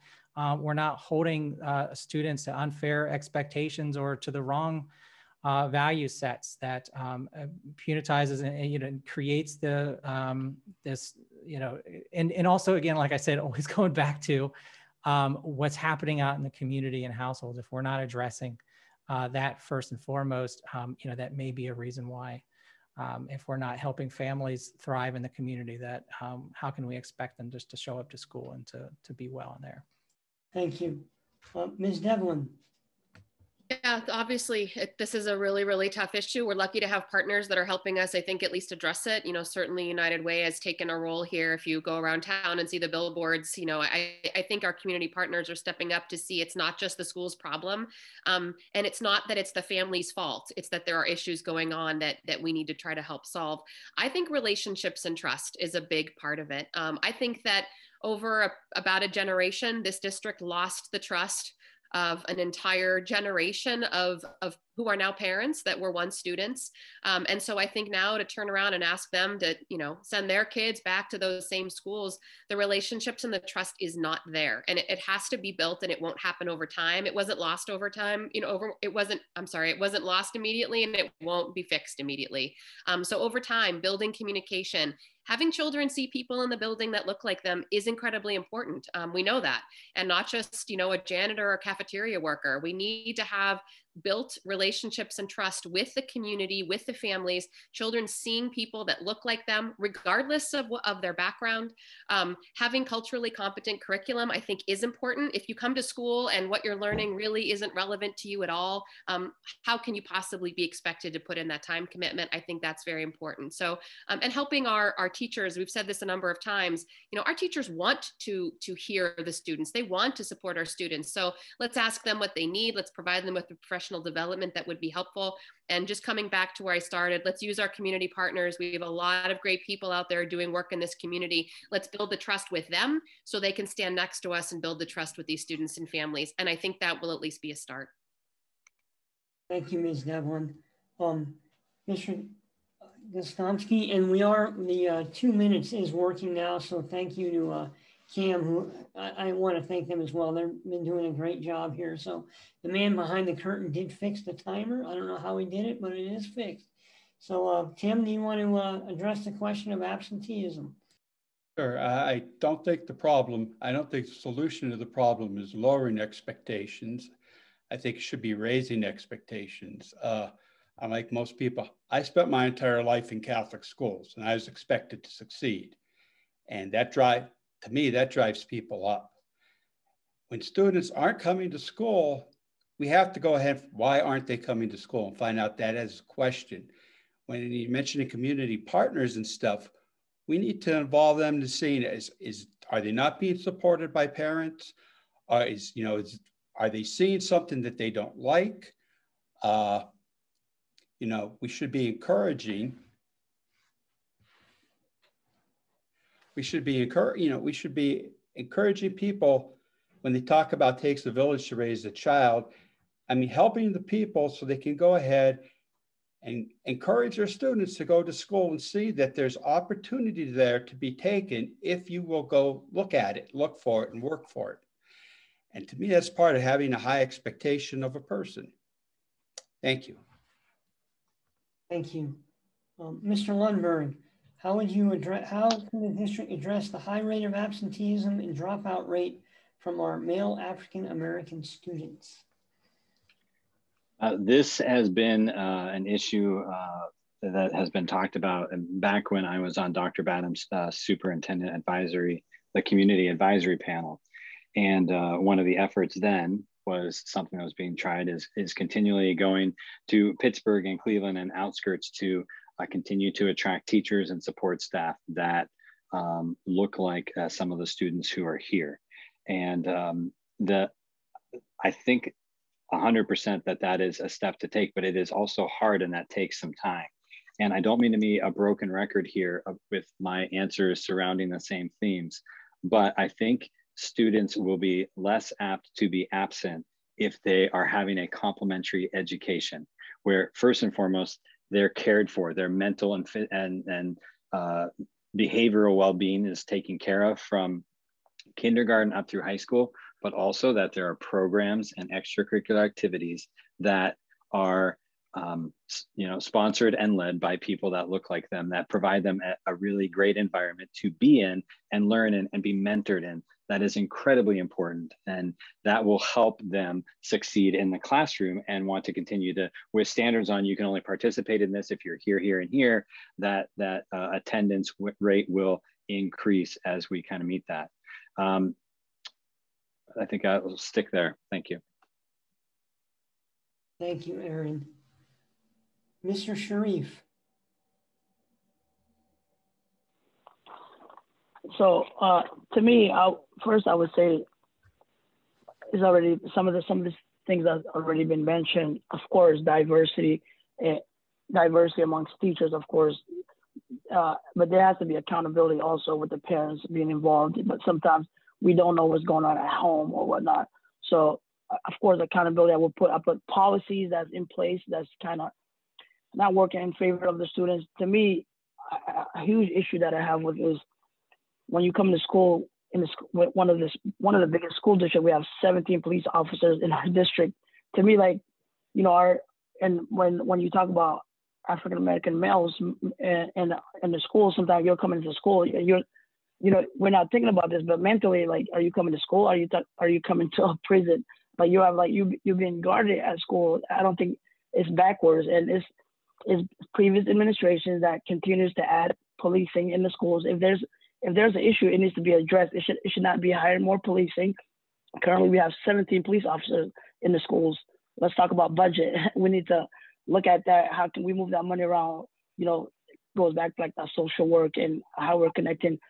We got to find out why why are these students missing school. We have to get the root cause of it. But definitely, diversity of teachers will definitely be a great start because there's research that shows that when kids have teachers that look like them, they're more more likely to be successful. And and you know, and also right now they have I know the schools are having a hard time recruiting uh, teachers of diverse and and a lot of kids don't look value in teachers and we need to bring that back and and that's what that's what I would say.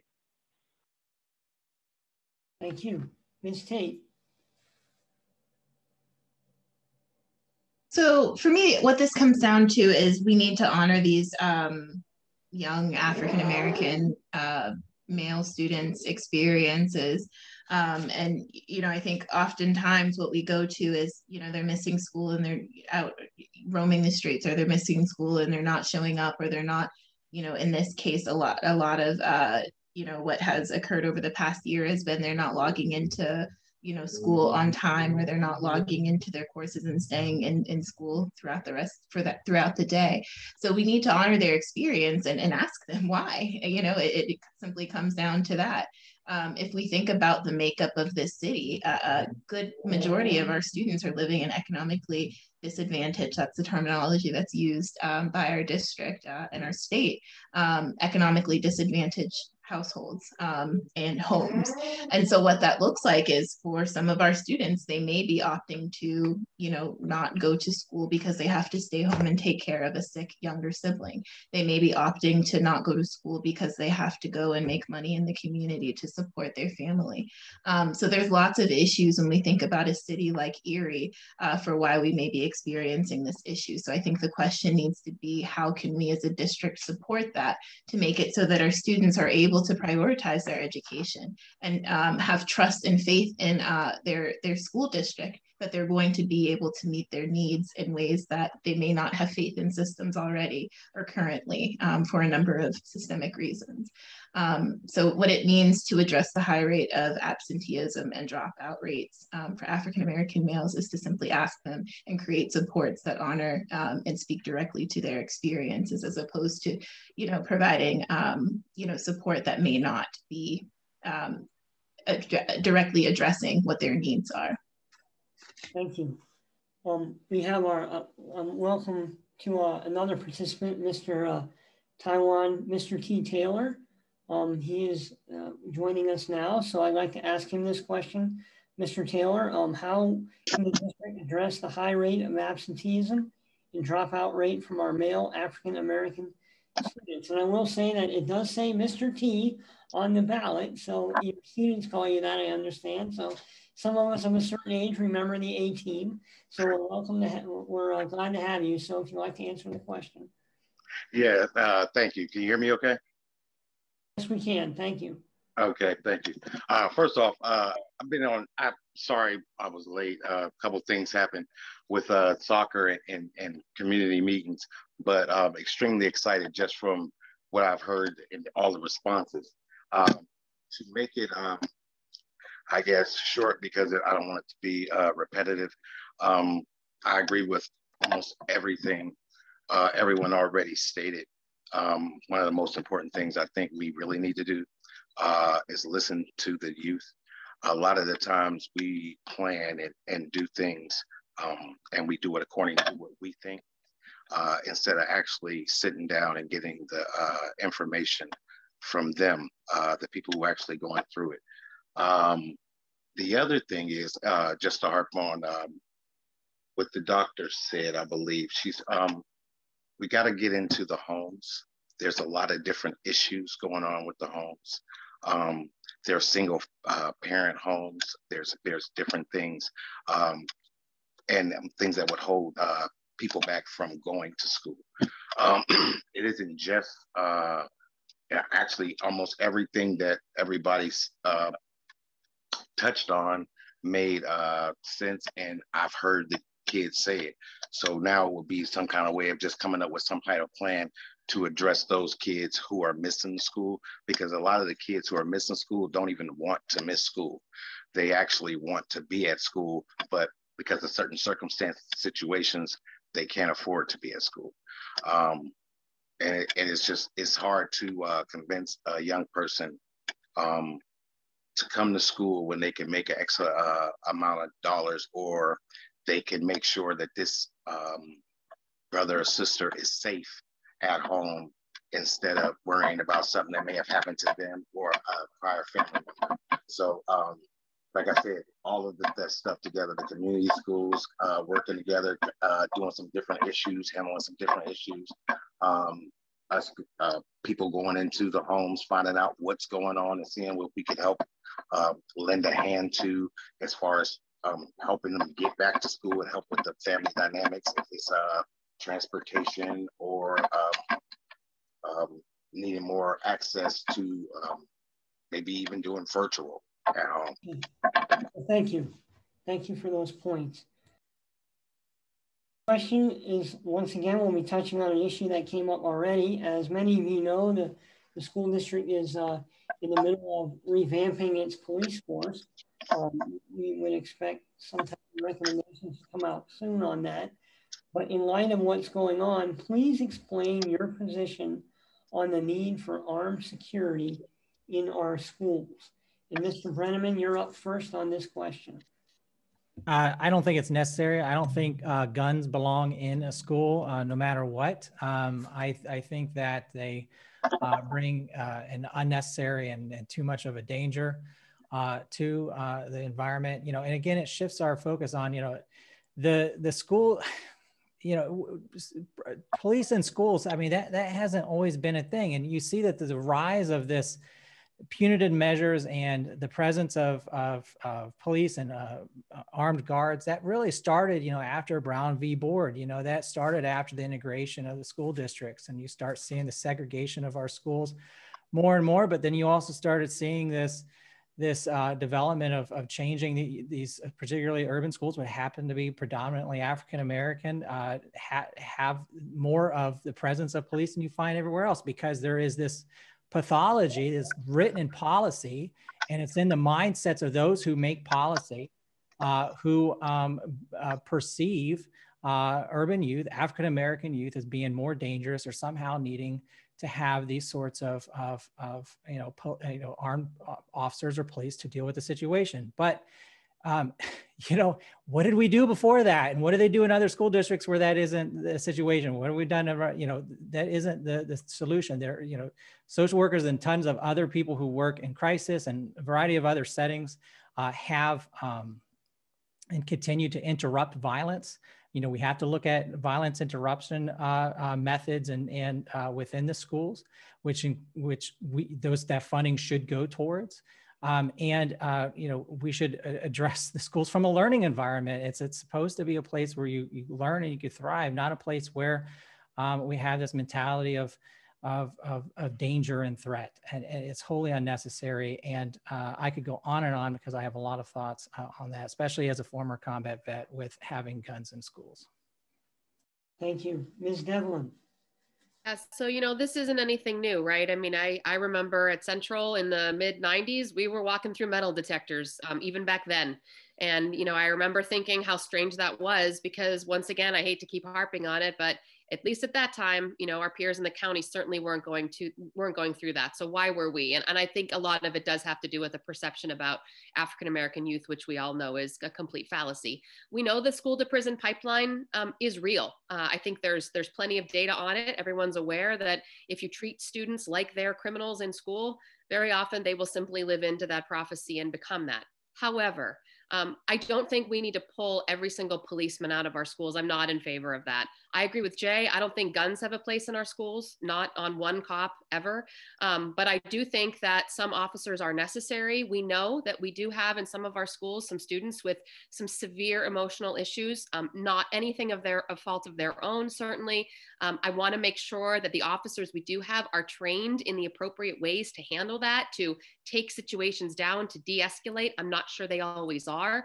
Um, I also think we need to add to what we already have with things like restorative justice practices. So, you know, I, am not in favor of pulling out every officer. I think a couple can be there. No guns, absolutely. I agree with that. And let's add restorative justice. So, when a wrong is done, we bring the kid back in with his peers and say how can you make up for that? How can how can the person that you hurt talk through how that felt? Um, uh, that's happening in a lot of districts. I think there's a movement toward it in some of our schools. Let's expand that as well. Um, but absolutely as i mentioned school to prison pipeline is a real thing. I think we're seeing that in our in our city um, from some of these practices. And so i absolutely agree that we need to take a fresh look at it um, and now's the time to do it Thank you. Mr. Gostomski. I think it's a sad comment on the times that we live in where it actually probably is a necessity to have, if you want safety, people demand safety, to have armed guards at places. Seem to forget we live in a world where people are willing to crash planes into buildings and blow themselves up to make some kind of point. I, when I was a kid, we never had police in schools except to come in to like give a talk about this, that, or the other thing. But as taking all the armed police out of the schools, what will people say if some crazy psycho goes ahead and does something and they'll say, well, why wasn't there somebody there to stop them? Well, we took them out because we didn't want to give the students the wrong idea. I, I really have a problem with that. Thank you. Mr. Lundberg. This is definitely a, a, uh, uh, a tension that needs managed type of area. And um, I personally, I, I, don't think there needs to be the need for uh, people wielding guns in the buildings. I think that we need to have the right number of people with the right number of support so that our teachers are able to teach and not have to feel like they're uh, in trying to do all the care and support and social work that is needed. We need people who are trained to properly do that and help this, this uh, uh, disarm people who uh, might be angry or upset about something. But uh, to, to, be perfectly clear, I think if there was ever a need of some sort of uh, security for someone to who might come in, um, it's probably more for people who look like me than anyone else who might do something or who are all over the news doing things like that and so we need to be careful about the picture that we're trying to portray and who we're trying to protect. There is a safe nature we need to provide, but it is not needed with guns. It's with the right people doing the right things who are properly trained. Thank you. Mr. Sharif.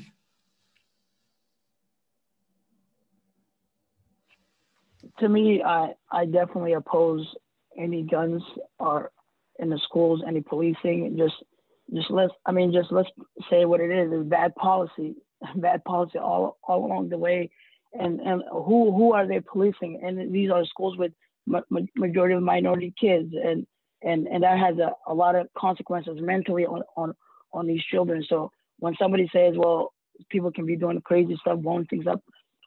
There's more there's more policing in our school district than is is at the airport in Erie Airport. So I mean we need to we need to like we need to rethink how how we're doing these things. To me, absolutely, I'm against policing in, in the schools. We don't need no guns in the schools. Uh, to me, it just has a negative impact for our community, for b- brown and black kids, and I'm 100% against it.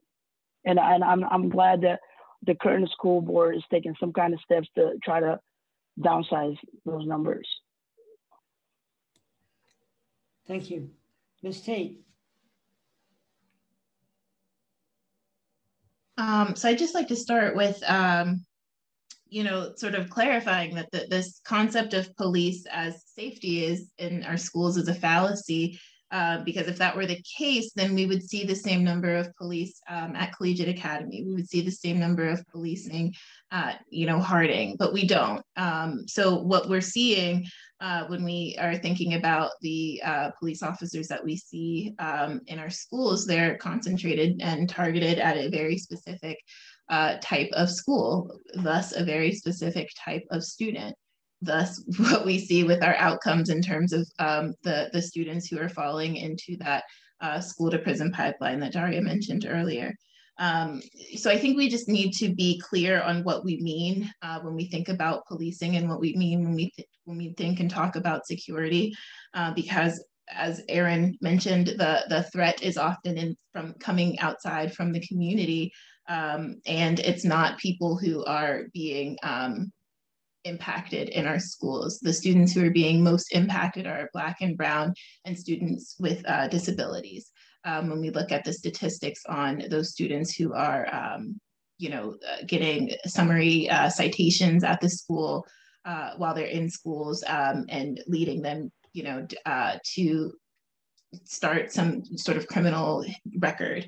Um, and when that criminal record starts within our schools, it follows them into the community. So the same police officers that we're seeing in their schools are policing them outside in the community as well. So it just leads to this really complicated um, and and community and the community impact is major.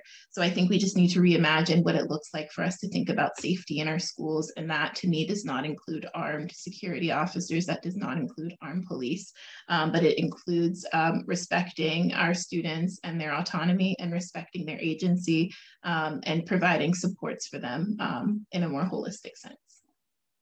Thank you, Mr. Taylor.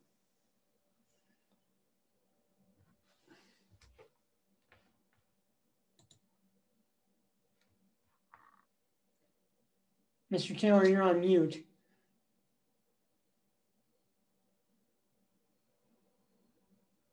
Okay. There we go. Short answer, uh, no. I don't believe uh, we should have any armed security in the, in the schools. Um, I do believe uh, I am a supporter uh, of policing, um, but I would prefer it be like police programming. Uh, why don't we have more minorities in policing? How, how are we going to entice them to get involved in policing? Um, I would say um, I definitely want them coming by. I remember growing up as a kid and going to uh, see the police station as long as the fire, as long as also the fire station and uh, the ambulance. So uh, encouraging careers and things like that. Those those types of things I think the police should be involved in. But uh, and emergencies. We need police. If something happens, we need to be able to call the police. But that doesn't mean that I think that they should be armed in the building. I think, uh, along with all everyone else, um, there's so many different uh, other ways to go about it. Thank you. Thank you, everyone. I'm going to ask one more question, and then we're going to move to the um, to uh, one minute um, closing remarks. So. Um, we're doing great on time. Uh, we're about 10 minutes away from nine. So the next question is, uh, it's a big one for the Erie School District. What is your position on charter schools, especially in terms of the benchmarks they should have to meet? So on that question, um, we will be starting with uh, Ms. Devlin another important question, and I'm so glad that it's being asked here. I was actually surprised at one of our um, previous forums it wasn't asked because it is so important. So here's where I stand on this. Um, first of all, I think if we're going to put benchmarks in place for our charter schools, we better make sure that they're the same across the board. Um, we shouldn't have some charter schools who maybe were started earlier or perhaps had a different kind of um, situation of how they were founded with the district have different kinds of benchmarks. We need to be fair and equal across the board with all of our charter schools. We need to be transparent um, about the benchmarks that we have, and we need to provide the supports that are needed. Um, personally, I believe that our cyber charter schools are really functioning completely outside um, the sphere of, of what's even um, working in our district. Um, so I would be in favor of, of certainly making sure that we're, we're providing benchmarks there. I think with our brick and mortar charters, we know we have a wide range of them. We know that in some cases, many of them were created to be um, these innovative places where new things could be tried. Um, I'm not sure that's happening in every single one, but I certainly wouldn't speak to that without having full information. So yes, I'm in favor of benchmarks. I'm in favor of being transparent about them. I'm in favor of them being equal across the board. Um, and I am in favor of providing supports as possible um, to these schools because at the end of the day, they are educating whether whether you agree with their existence or not they are educating our students in erie. So we want to make sure that those students are being supported and they're getting what they need. And if they're not then i think we have to take different steps. Mr gostomski. I agree that if you're going to have benchmarks for charter schools, it should be the same for all. They should be, we should be able to understand them all, see them all, and see whether they're being met or not we shouldn't treat tar- charter schools as an enemy because, as, uh, as Devlin went ahead and pointed out, I mean, they're meant to be things for innovations and new ways to try. And quite frankly, they probably serve some students better than the school district. And if they're doing that, then the school district should say, how are they doing that? And how can we incorporate that into what we have, what we are doing? So I, I see being with the charter schools is something that should be collaborative. Thank you. Thank you. Mr. Lundberg. Uh, yes to benchmarks, yes to transparency and consistency. Uh, but to me, um, we, we have to figure out and learn and understand why are students going to charter schools? Is there something else we can be doing as a district within our own buildings, within our own programs that we can have that innovation, we can have that collaboration, those creative ideas where we can provide that not just for the students who are going to the charter school, uh, but to the students who might not know how to get into the charter school or how to uh, uh, connect to that, that we're providing that in our own classrooms and keeping them as students of Erie's public schools if we can make that happen. Thank you. Mr. Sharif.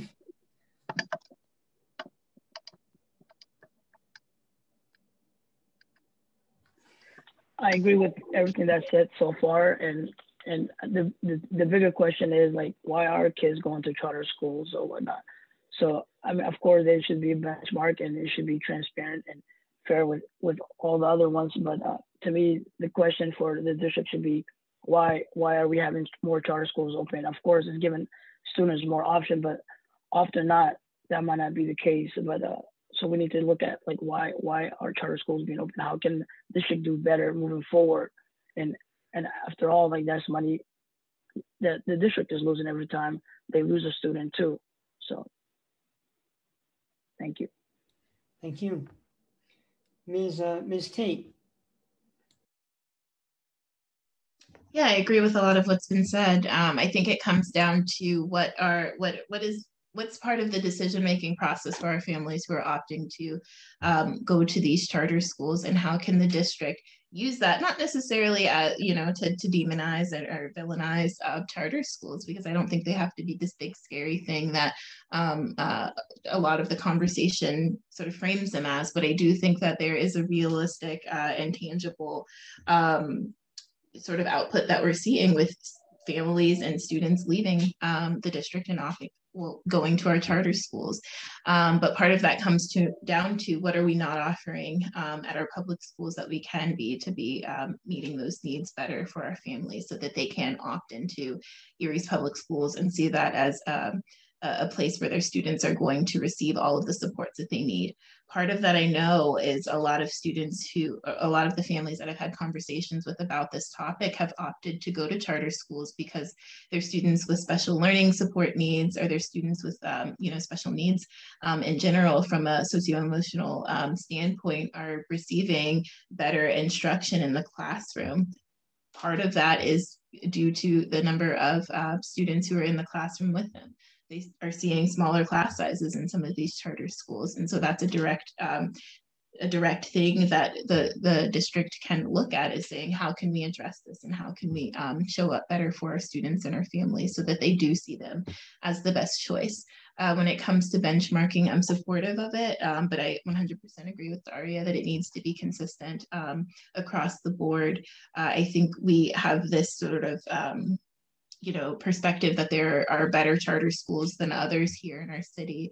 Um, but i think they all can be held to the same standard and they all can um, you know they need to be uh, providing adequate and appropriate um, supports um, and and learning outcomes for our students. Thank you. Mr taylor. Yeah, I would uh, just agree with uh, mostly everyone again and say I agree with benchmarks as long as they're fair and equal across the board. Um, and I mean, actually, really fair and equal. I, I don't even understand the uh, issue really with when it comes to charter schools because we got a lot of different students and students learn a lot of different ways. So any way that if the students are being successful, I think that that's the only important issue. Uh, we produce an uh, successful students. So if it's coming from charter school to public school, if we working together trying to make sure that all of our students in the city of Erie are having are getting the best opportunity to be successful, I think that's the, the common goal. So um, as long as everything is fair and equal, I think we sh it should be good. Thank you. And Mr. Breneman. Uh, I, I, really appreciate what our school district has done uh, in recent years as far as fighting for more transparency uh, and uh, uh as far as far as the funding goes with uh, the charter schools and actually going out to families and kids and, and, trying to figure out what they can do to, to return to our public schools. Um, I, I, don't perceive or view our current uh, charter schools in our area as our enemy. I see the whole structure as problematic and as a long-term goal by uh, legislatures to uh, underfund, stripped, and to gut our public uh, public education system. You see, these uh, charter schools are more often than not in the very school districts and areas that they've underfunded and cut it cut for uh, years and decades. You see, on top of that, that um, they're not provided the same restrictions with those funds, and and so what happens is you create this they've they've created the legislature has created this environment where our publics our own families have to kind of like fight against each other. Like why are families taking their children to charter schools? Because our public schools can't provide the type of resource the type of education and learning environment and supports that they need because the legislature hasn't been funding them to do that. And then they provided a way to siphon off those funds and provide these other educations so people say well i could get a better educated at a charter school. Why do i why do we need uh, public schools? And so you know that's that's part of this this long term this long this this decades long uh, drive to to gut our public education system and so i think for uh, charter schools to to continue to exist in the future that's fine uh, they need a different funding stream and we need to adequately and properly and fairly uh, and we need justice and funding for our public schools. I, I, don't think we should be having this conversation as a, as a school board. I think it should be something, uh, you know, that should have already been, been done. Uh, and I think that's part of our advocacy uh, with the state legislature. Thank you. Thank you, everyone. We're now going to enter the closing arguments or closing. I feel like I'm in court. I'm sorry.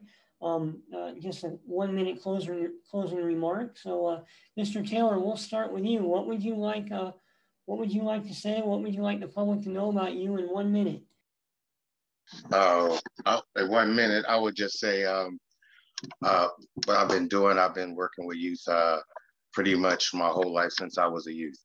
Um, what I would say is um, the best thing is I was uh, doing a men's program with uh, some young men over at McKinley School. And uh, we walked in with uh, three other young men and uh, some all uh, young black men. And they said, wait, is that the president?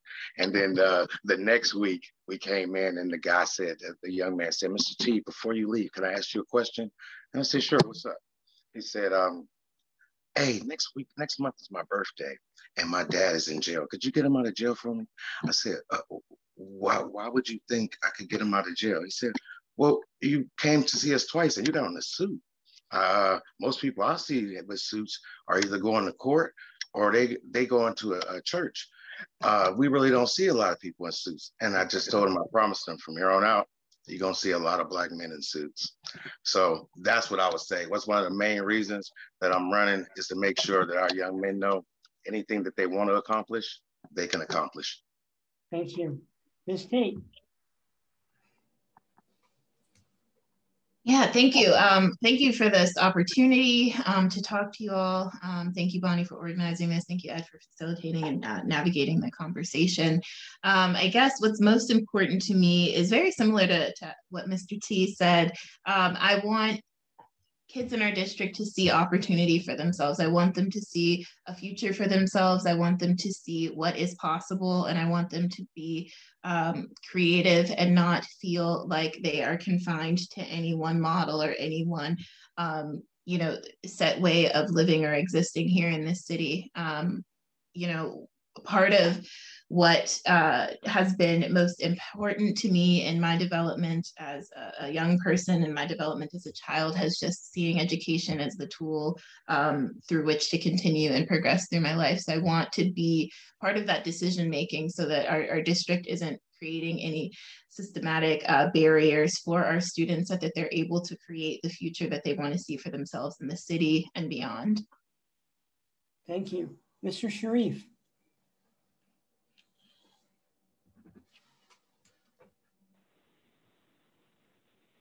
Sorry, it was just a bad time. I was breaking my fasting, but uh, but uh, once again, uh, just wanted to say thank you for uh, the opportunity for the platform, uh, and and everybody here. Uh, to me, I just uh, I just want to serve the community that I've been involved with in the last 24 four years since I've been in in Erie, and I just want to advocate that. Want to make sure like we are diversifying our our work workforce, that we we are providing our students curriculums that's going to set them apart, that we're going to try to keep up with the technology that's that that's kind of ruling the world right now. And I just want to be a, a role model for students that look like me and and and want to just make sure that it, there's a uh, there's a pathway to finishing school, going to college, and getting a decent job.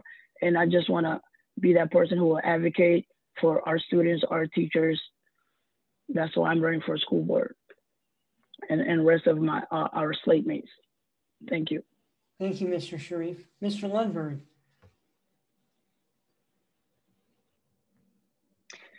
Boy, as, as a parent, uh, I'm really excited about the uh, group of people that we have running. And I think that's exciting for my children and all the other children represented in the district.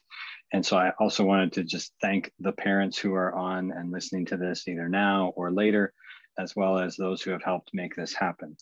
Um, I, I, would love to have your vote on May 18th because I believe that through my uh, experience in both the business and nonprofit world, especially the nonprofit world, I've had to uh, walk wisely with the navigation of various opinions and thoughts um, on how to accomplish certain things within different perspectives. And I think that has brought me to a place where I can listen and help lead uh, from an organizational standpoint uh, how can we have a listening posture to meet the needs and the requests and the hopes of the people that we are uh, helping to lead for and represent. And so I hope that we can get to a place where we continue to enhance the way we communicate with our students, our teachers, our families, and work within the community together to continue, continue to bring uh, amazing excellence to the graduates here in our district. Thank you. Mr. Gostomski. Yeah, yeah. Thank you again for having us all here. And it's been interesting listening to what everybody has to say. Uh, as a narrow immediate focus, you know, I really want to be sure that this money we're getting in, the one-time thing, is spent wisely and well to set us up for a future. I believe the most important thing for schools is to teach kids love of learning so that you can go out and and okay and fulfill potential in life and you know be be things be be what be what they want to be maybe not necessarily what people think they should be. And i agree with mr taylor's comment we need to see more black men in suits. And i'd like to thank you all again for having us here. Thank you. Ms. Devlin so I definitely want to thank Bonnie. Um, and I love your backdrop there, Bonnie. There's no wrong way to PTA. I see a lot of familiar names today, um, a lot of PTO parents, PTA parents on. You all work so hard. So thank you for what you do for our students. Um, I've said before, um, my whole life was shaped by this district, mine, my children, um, and I know that the future of our city is these schools. Um, we fought very hard when the district was rebranded from Erie School District to say Erie's, and I'm crazy about that apostrophe S. These are our schools, our students, and this is how our city will thrive. Um, one of the parents on this this um, Zoom today even mentioned to me, we shouldn't be talking and comparing ourselves to our county peers. We should be the standard by which everybody else is judged. And that's my vision. I think that we have amazing students and families and teachers, and we can do amazing things together. I'd like to be part of that. I think my experience will help me and, and serve the community well. I do ask for your vote on May 18th. Um, I am cross filed on both ballots and would appreciate your vote. And I really appreciate your time tonight. Thank you. Thank you. And Mr. Breneman. As a as a parent and as an educator, but you know, as as somebody who's dedicated their their entire post military career to um, teaching and also implementing policy, this is a very important election for me. Um, you know, one of the, the biggest experience I have in the classroom is looking at my students, again, graduate students, also dual enrollment, uh, high school and uh, undergrad students, is just understanding that they're experiencing something that nobody ever has and never will. And this pandemic is going to shape the rest of their lives. And we have to, uh, we have to prepare them for that future. And for me, uh, when it comes to funding, when it comes to everything that we do with our schools, it has to have that uh, at the center of it. Are we preparing our children for this next, the next post-pandemic future? Um, I am on the Democratic ballot. I hope uh, that you uh, consider me for uh, one of your votes on May 18th um, just know that uh, I come with this with a passion, a policy, understanding of policy and advocacy and, and um, changing the way that we think and do things, but more importantly, to make sure that uh, the children and their families are at the core. Thank you, Mr. Breneman. And thank you everyone for participating. This has been just wonderful to listen to. I mean, everyone's informed. I, I, I would hope to think it's because of maybe the newspaper coverage, but I'm not sure. I'll put a picture in there. But really, it was fascinating to listen to everyone. And um, uh, it was really something, and, and certainly um, you all certainly have the best uh, best in mind for the district. And thanks again to Bonnie Fagan and the Erie Council PTA and the League of Women Voters and the team here at CAM for making this run smoothly. And um, once again, this will be available later in the week for uh, viewers. So we hope uh, people will take a look at it. And uh, thank you once again and have a good evening, everyone if I can just say, if the, here's here's my technology at work. If anybody wants to open the chat box and get your phone out and take a picture for the the links for the Erie County Council PTA and for CAM's website, and then also, as Ed said, thanks to the League of Women Voters, they will also um, be making the link available as soon as we get it from CAM, so you can find it on the League of Women Voters. Um, website and their Facebook pages as well. And I would like to thank all the candidates. Um, I would like to thank Ed for helping me out by doing a great job of moderating this forum for the Erie County Council PTA. And I'd also like to thank the attendees who were with us tonight.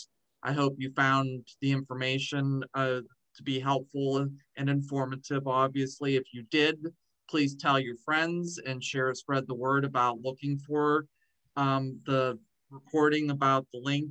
Hopefully this week we'll be sharing it as soon as we get it from Cam uh, Erie. And thanks again, and everyone have a great night.